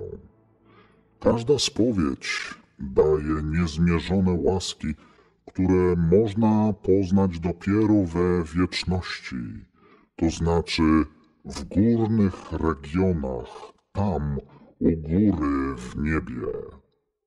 Ona, ta z góry, cierpi wielką drękę i ból, jak tylko on przyjmowany jest niegodnie, albo po prostu przyjmowany jakby był kawałkiem chleba, albo inną potrawą, którą się przyjmuje, gryzie i je, nie myśląc o tym, co to jest.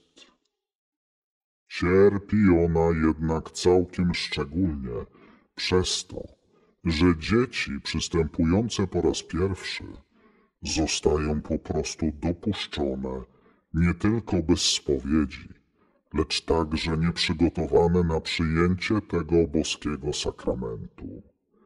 Tak, tak. Nie mają one prawdziwego, całkowitego przygotowania do Komunii Świętej. Nie mają żadnego dobrego przygotowania, nie mówiąc już wcale o spowiedzi. Wielu już z tych przystępujących do Komunii Świętej nie wie nawet, że trzeba wzbudzić akty wiary, nadziei i miłości. Zostało im po prostu powiedziane. Zostało im po prostu powiedziane: Zostaniecie teraz dopuszczone do komunii. Chrystus jest dobry dla wszystkich. Kocha On wszystkie dzieci. Przyciska do swego serca. Jesteście jeszcze niewinne. On kocha przecież takie dzieci. Idźcie do Niego, otwórzcie przed Nim wasze serca, jednoczcie się z Nim, jak często tylko chcecie. Cieszy On się z tego bardzo. Nie zważają jednak na to, że nie ze wszystkich dzieci może on mieć radość. Tego nie widzą. Przechodzą nad tym do porządku dziennego. Nie zważają oni, że dla Chrystusa jest to często obrzydliwością wchodzić do takiego serca, które ma w sobie już wiele grzechów nie chcemy już więcej mówić. W imię Jezusa, w imię Trójcy Przenajświętszej, Ojca i Syna i Ducha Świętego, w imię Jezusa powiedz prawdę, co nakazuje ci mówić Matka Boża. Mów prawdę, Belzebubie. Mów nadal. Ona, ta z góry, wzywa i każe powiedzieć, że powinno się do Komunii Świętej przygotowywać o wiele żarliwiej, pełniej i z dobrą intencją, aniżeli to dzieje się obecnie. Przede wszystkim jednak, jak to już powiedziałem, musi być najpierw bezwarunkowo spowiedź. Rodzice powinni swoje dzieci troskliwie, bardzo troskliwie przygotować, do tego modlić się z nimi codziennie. Powinni go przepytać i czynić, co się tylko da, aby dziecko odprawiło dobrą spowiedź. Nie potrzeba, aby szli do kapłana i mówili mu: Ty nie uczyniłeś tego dobrze, i przez to wywoływali opozycję. Tego wcale nie muszą. Mogą jednak i muszą to bezwarunkowo, w całkowitym spokoju, przeprowadzić pouczenie dziecka sami, przygotować go dobrze do dobrej spowiedzi i komunii świętej. Po miastach jest wiele różnych kościołów. Jeżeli mieszkają na wsi, powinni udać się sami gdzie indziej z dzieckiem do pierwszej spowiedzi jeżeli się wstydzą swego miejscowego kapłana. Przez oczyszczenie duszy stanie się dziecko uczestnikiem o wiele większych łask. Są to znaczne, decydujące o całym późniejszym życiu łaski, które się traci, ponieważ dziecko nie nauczyło się przystępować do Chrystusa z czystym sercem, z właściwym usposobieniem w dniu pierwszej Komunii Świętej. Musiałem to jeszcze powiedzieć. Musiałem to jeszcze powiedzieć. To musi zostać zamieszczone w waszej tej gównianej szmacie. Post eucharystyczny. Egzorcyzm z 18 czerwca 1977 roku. W imieniu Matki Bożej mów prawdę. Jest tak. Obrzędy, sakramenty nie musiały być wcale zmienione. Stało się tak po części przez masonerię. Z drugiej strony stało się tak na przykład przy przyjmowaniu Komunii Świętej z woli papieża, który rozumował w ten sposób. Jest to za trudne. Jest to zbyt uciążliwe prawo, gdy wierni od północy aż do przyjęcia komunii muszą być na czczo. Zdarzało się to zwłaszcza przy misjach, że do południa albo wieczora musieli zostawać na czczo, a to często było trudne. Był to jednak szalony plus, ponieważ ludzie musieli przez to czynić pokutę i przynosić bardzo wielkie ofiary, które właśnie wszystkie razem ratowały tysiące i tysiące dusz. Przez te ofiary i uciążliwości wyrwanych zostało nam wtedy wiele dusz. Dlatego niebo nie chciałoby właściwie, aby zmienione zostało prawo postu. Powiedziano wtedy papież albo kardynałowie, albo ktokolwiek to by nie był. Nie możemy tego tak już dłużej pozostawiać. Trzeba wejść choć o krok naprzeciw.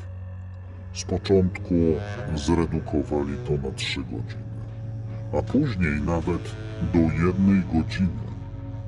Przepis kościelny o pełnym poście eucharystycznym brzmiał: Przed przyjęciem Komunii Świętej należy od północy powstrzymywać się od wszelkich płynów, napojów i pokarmów. Nie wolno było napić się mleka czy wody. Była to właśnie pokuta i było to właśnie przez niebo dopuszczone. Niebo widziało to chętniej, aniżeli to, co się teraz dzieje. Kardynałowie i papież myśleli między innymi tak. Teraz wierni będą gromadnie przystępowali do Komunii Świętej, bo mają ułatwienie. Z początku było tak z pewnością, że trochę więcej ludzi mogło przystąpić do Komunii Świętej. Teraz jednak jest o wiele gorzej, aniżeli przed zmianą prawa postu eucharystycznego. Teraz przychodzi mniej ludzi do Komunii Świętej. W każdym razie takich w stanie łaski, aniżeli przychodziło dawniej, kiedy to prawo nie było zniesione. Teraz stało się to pustoszące.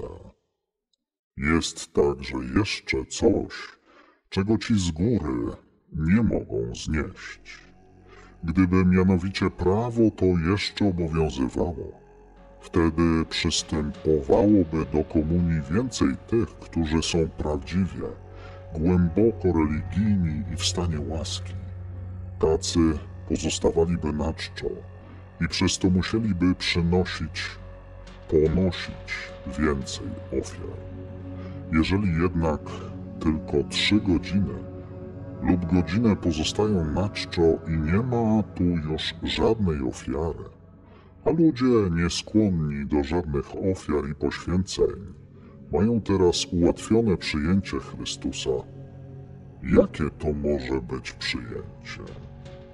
W związku z tym zniesieniem czy też załagodzeniem postu, do wielu szło, czy idzie po linii takiego rozumowania, jeżeli papież mógł zmienić, znieść z tylu i tylu godzin do trzech godzin, a później do jednej godziny, to można także kwadrans przed tym, nim się idzie do komunii coś zjeść.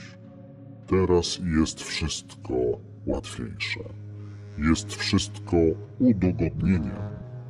Jest to więc wszystko jedno trochę wcześniej czy trochę później. Tak samo jest ze spędzaniem płodu. I tak rozumieją wszyscy wszędzie. To dawniejsze było przez papieży lepiej przemyślane i było o wiele lepsze patrząc całościowo, aniżeli jest dzisiaj. Bo gdzie nie ma ofiary i wyrzeczenia, tam jest także o wiele mniej błogosławieństwa i o wiele mniej łask. Wtedy myślą także ludzie, że nie potrzeba aż tak kroczyć naprzód, kroczyć ku doskonałości, bo można i dreptać tak trochę w miejscu. Dawniej trzeba było to mieć na uwadze i o tym myśleć. Nie wolno mi jeść, bo on przyjdzie do mojego serca. On jest najwyższy, najświętszy, którego wielkości i wzniosłości człowiek nigdy nie osiągnie. O tym myślało się stale i często modlono się już w nocy. To czyni stale jeszcze wielu, lecz przecież mniej.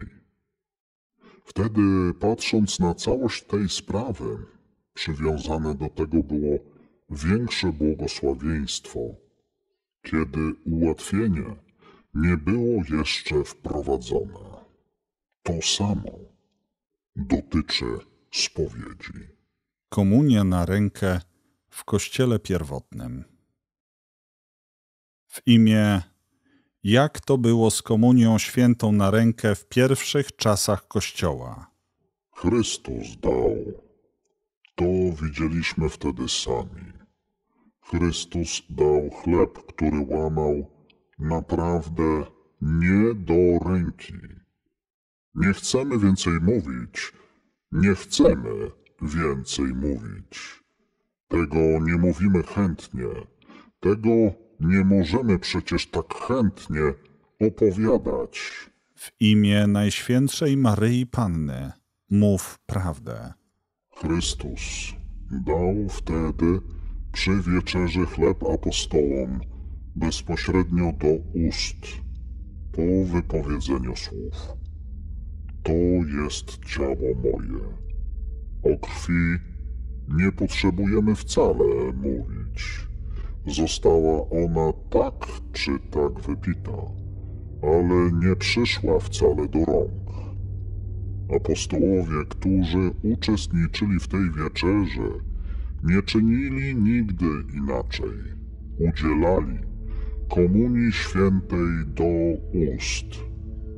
Chrystus nie chciał, aby podawano to później do rąk. Jeżeli to później podawano na ręce, to tylko z fałszywego zrozumienia i fałszywej interpretacji. Chrystus tego nigdy nie chciał. Nawet On sam dawał do ust, a także Matka Boża nie przyjmowała tego sakramentu nigdy inaczej, jak tylko na kolanach.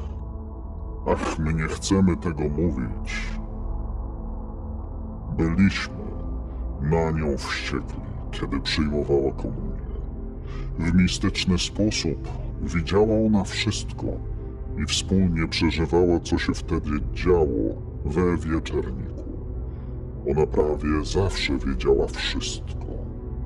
Była ona przeznaczona do przewodniczenia Kościołowi. Wprawdzie byli przeznaczeni do tego także apostołowie, ale ona musiała ich w wielkim stopniu wspomagać. Musieliśmy już to raz powiedzieć. Klęczała dniem i nocą i modliła się za apostołów, aby wszystko w Kościele Chrystusowym szło prawą drogą. Apostołowie, którzy byli przy ostatniej wieczerze, nie udzielali komunii inaczej jak tylko do ust. Gdy później było inaczej, to nie była wina apostołów. Także Jezus i Matka Boża nie mają w tym żadnej winy. Oni nie zaprowadzili tak tego i nie chcieli i nie mieli wcale takiego zamiaru. Kto chciał, kto zaprowadził komunię świętą na rękę. Oto nie powinieneś się wcale pytać. W imię Ojca i Syna i Ducha Świętego mów. To uczyniliśmy później my, demoni, i tośmy rozdmuchali i w ten sposób omotali. Myśleliśmy, gdybyśmy mogli u pierwszych chrześcijan zaprowadzić komunię na rękę, to można by później powiedzieć, że u pierwszych chrześcijan była także komunia na rękę.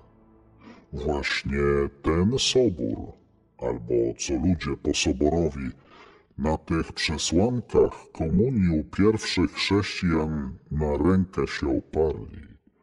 Ale nie to nie znaczyło wtedy, czyli to pochodzi od Chrystusa. Pierwsi chrześcijanie żyli przecież tak blisko Chrystusa i apostołów. Jeżeli tak, to przecież to jest dobre i nie może być żadnym grzechem ta komunia na rękę. To jest fałszywe rozumowanie, całkowita nieznajomość rzeczy, bo właśnie tego Bóg nie chciał. My, demoni, myśleliśmy sobie już wtedy, że jeżeli doprowadzimy do tego, do komunii na rękę, to nastąpi pewnego rodzaju spolitowanie, lekceważenie tego sakramentu. I tak się właśnie stało. Przyszło do komunii na rękę. Świątobliwe dusze i ci wielcy nauczyciele Kościoła dojrzeli przecież znowu, do czego to wszystko prowadzi i że jest lepiej, jest większe uszanowanie, cześć, kiedy się tego tam, u góry, podaje do ust, kiedy go nie można po prostu wziąć w swoje łapska, swoje brudne łapska z długimi albo polakierowanymi paznokciami, albo pokaleczonymi i owiniętymi w szmaty rękami. Nie możemy teraz wszystkiego powiedzieć. Niekiedy się ludzie, którzy się nawet po nocy nie myli, swoich łap, jeżeli gdzieś, nie chcą przecież tego powiedzieć. To jest straszny brak czci. Jest także wielu takich, którzy nie tak bardzo wierzą w Boga, którzy wszystko uważają za symbol, tak jak to robią w części heretycy. Sobór na początku nie był tak usposobiony na komunię na rękę. Później jednak postanowiono, że trzeba wyjść naprzeciw protestantom i innym. Oni, ci niektórzy biskupi i kardynałowie myśleli, że byłoby to solidarne i dobre i byłoby miłością bliźniego.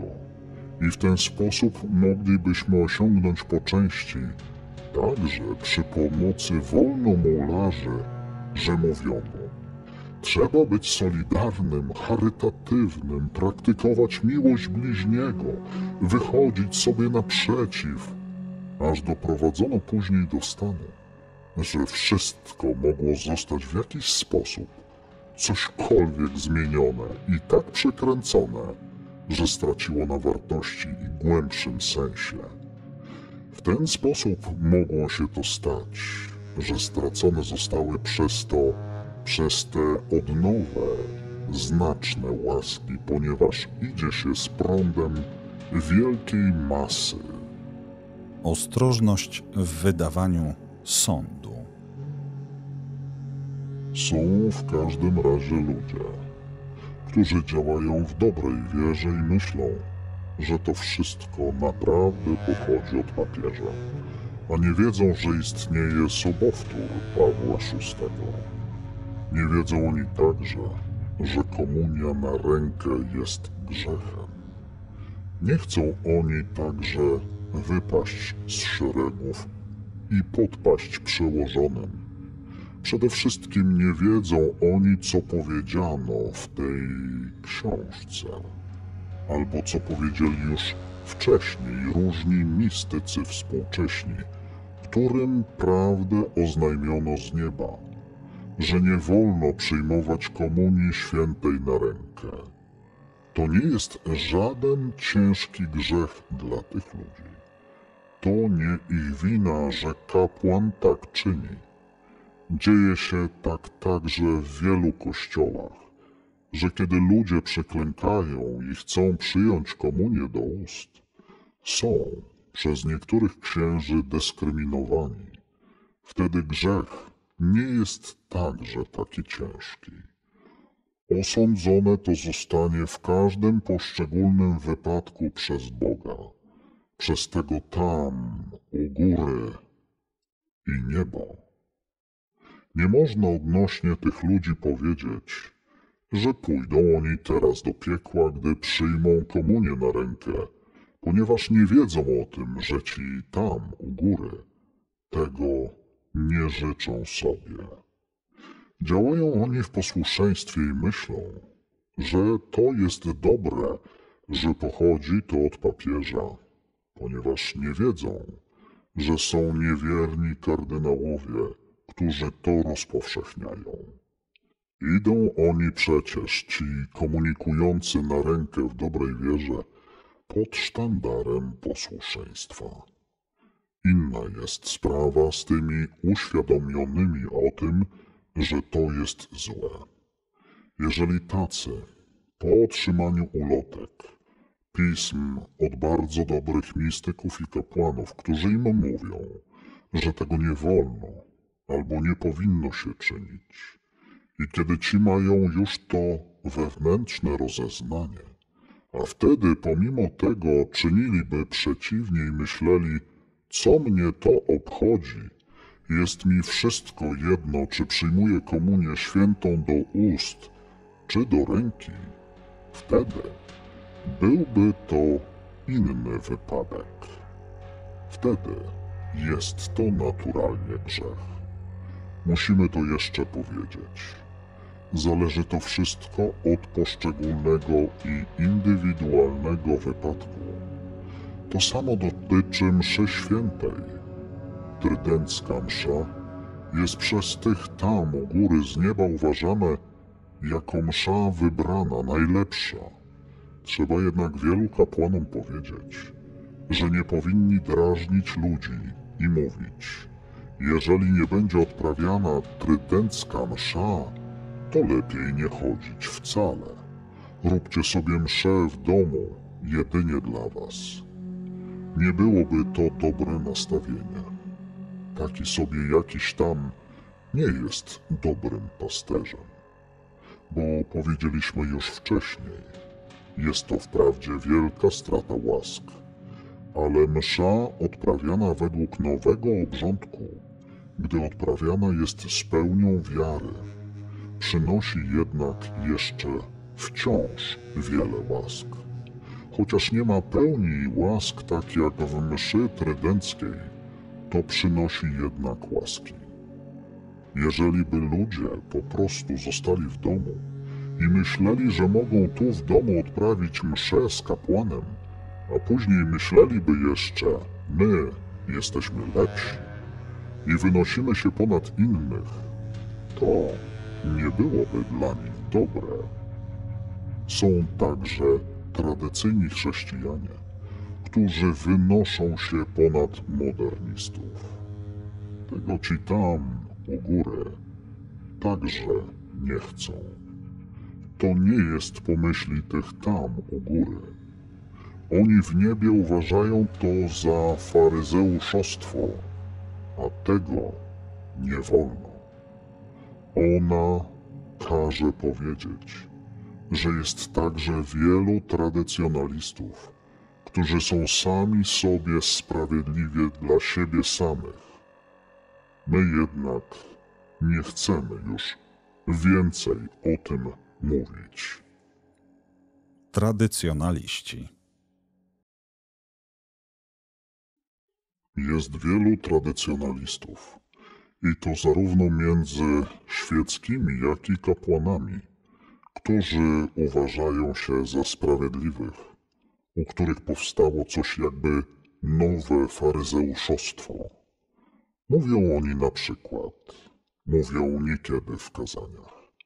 My jesteśmy dobrzy, my jesteśmy prawi. Inni wobec nas nie są wiele warci. My pójdziemy do nieba. Podobnie jest u sekciarzy, którzy mówią także to samo. Takiego postępowania nie lubią ci tam, u góry, wcale. Patrzą niechętnie na takich ludzi, którzy mienią się być sprawiedliwymi.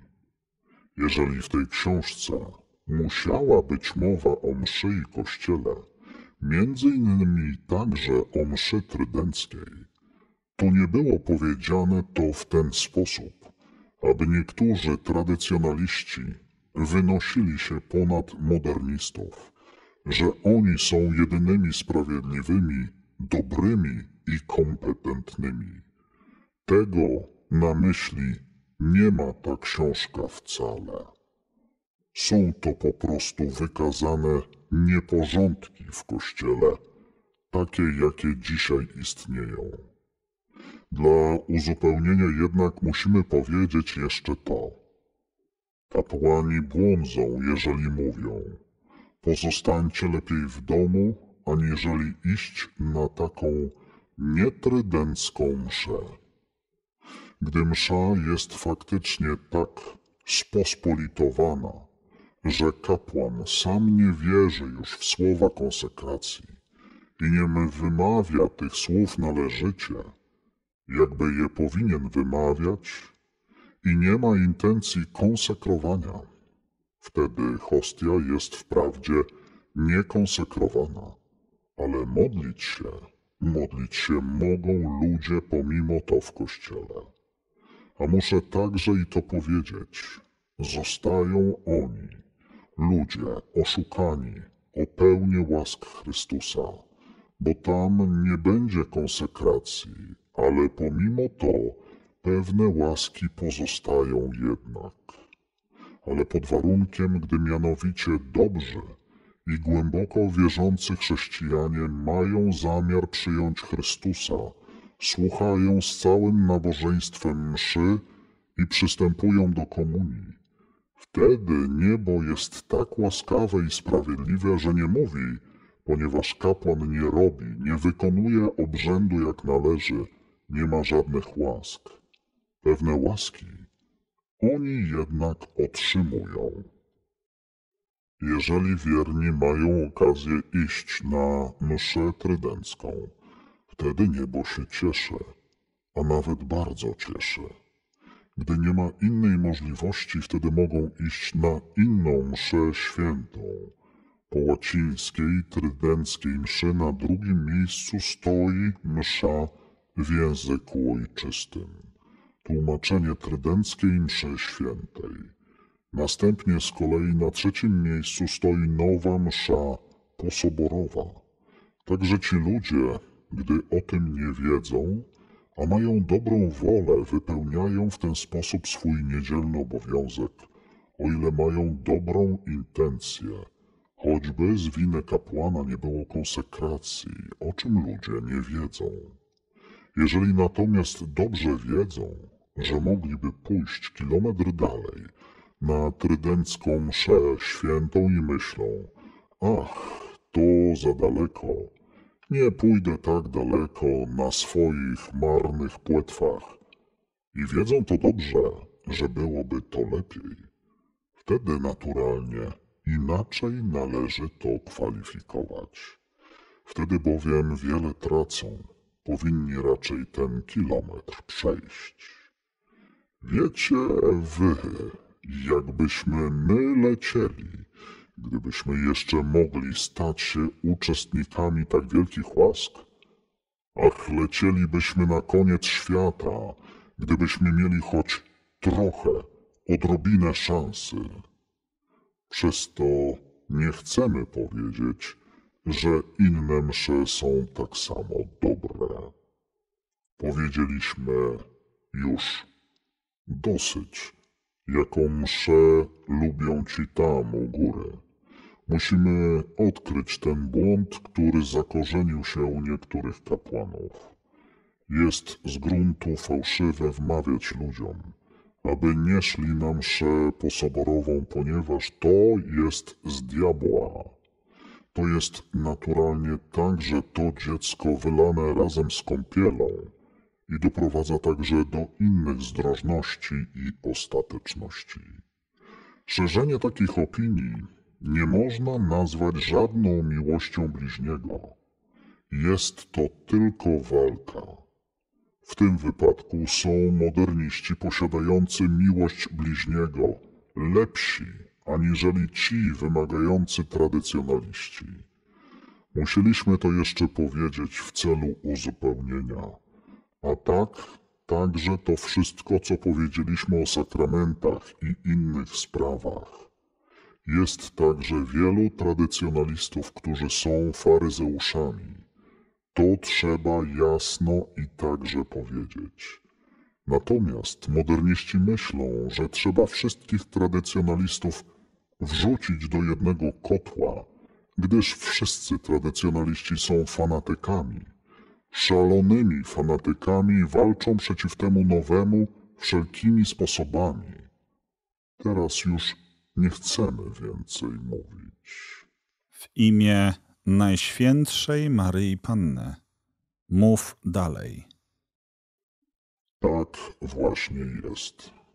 Ci tam, u góry, kochają wszystkie swoje dzieci, także wtedy, kiedy błądzą, gdy pod płaszczykiem posłuszeństwa, ponieważ nie wiedzą, co mają czynić, postępują według wskazówek biskupów i kapłanów, wtedy nie jest to także ich wina. To nie będzie im jednak zaliczone, jeżeli czynią to z dobrej woli, chociaż te stosunki są tak bardzo straszne, tak bardzo straszne, straszne, straszne. Szczęść Boże, droga słuchaczko, słuchaczu. Jeśli spodobał się Tobie ten audiobook, proszę ofiaruj swoją modlitwę za dusze czyśćcowe swoich bliskich, znajomych, przyjaciół lub dobroczyńców. Z Panem Bogiem.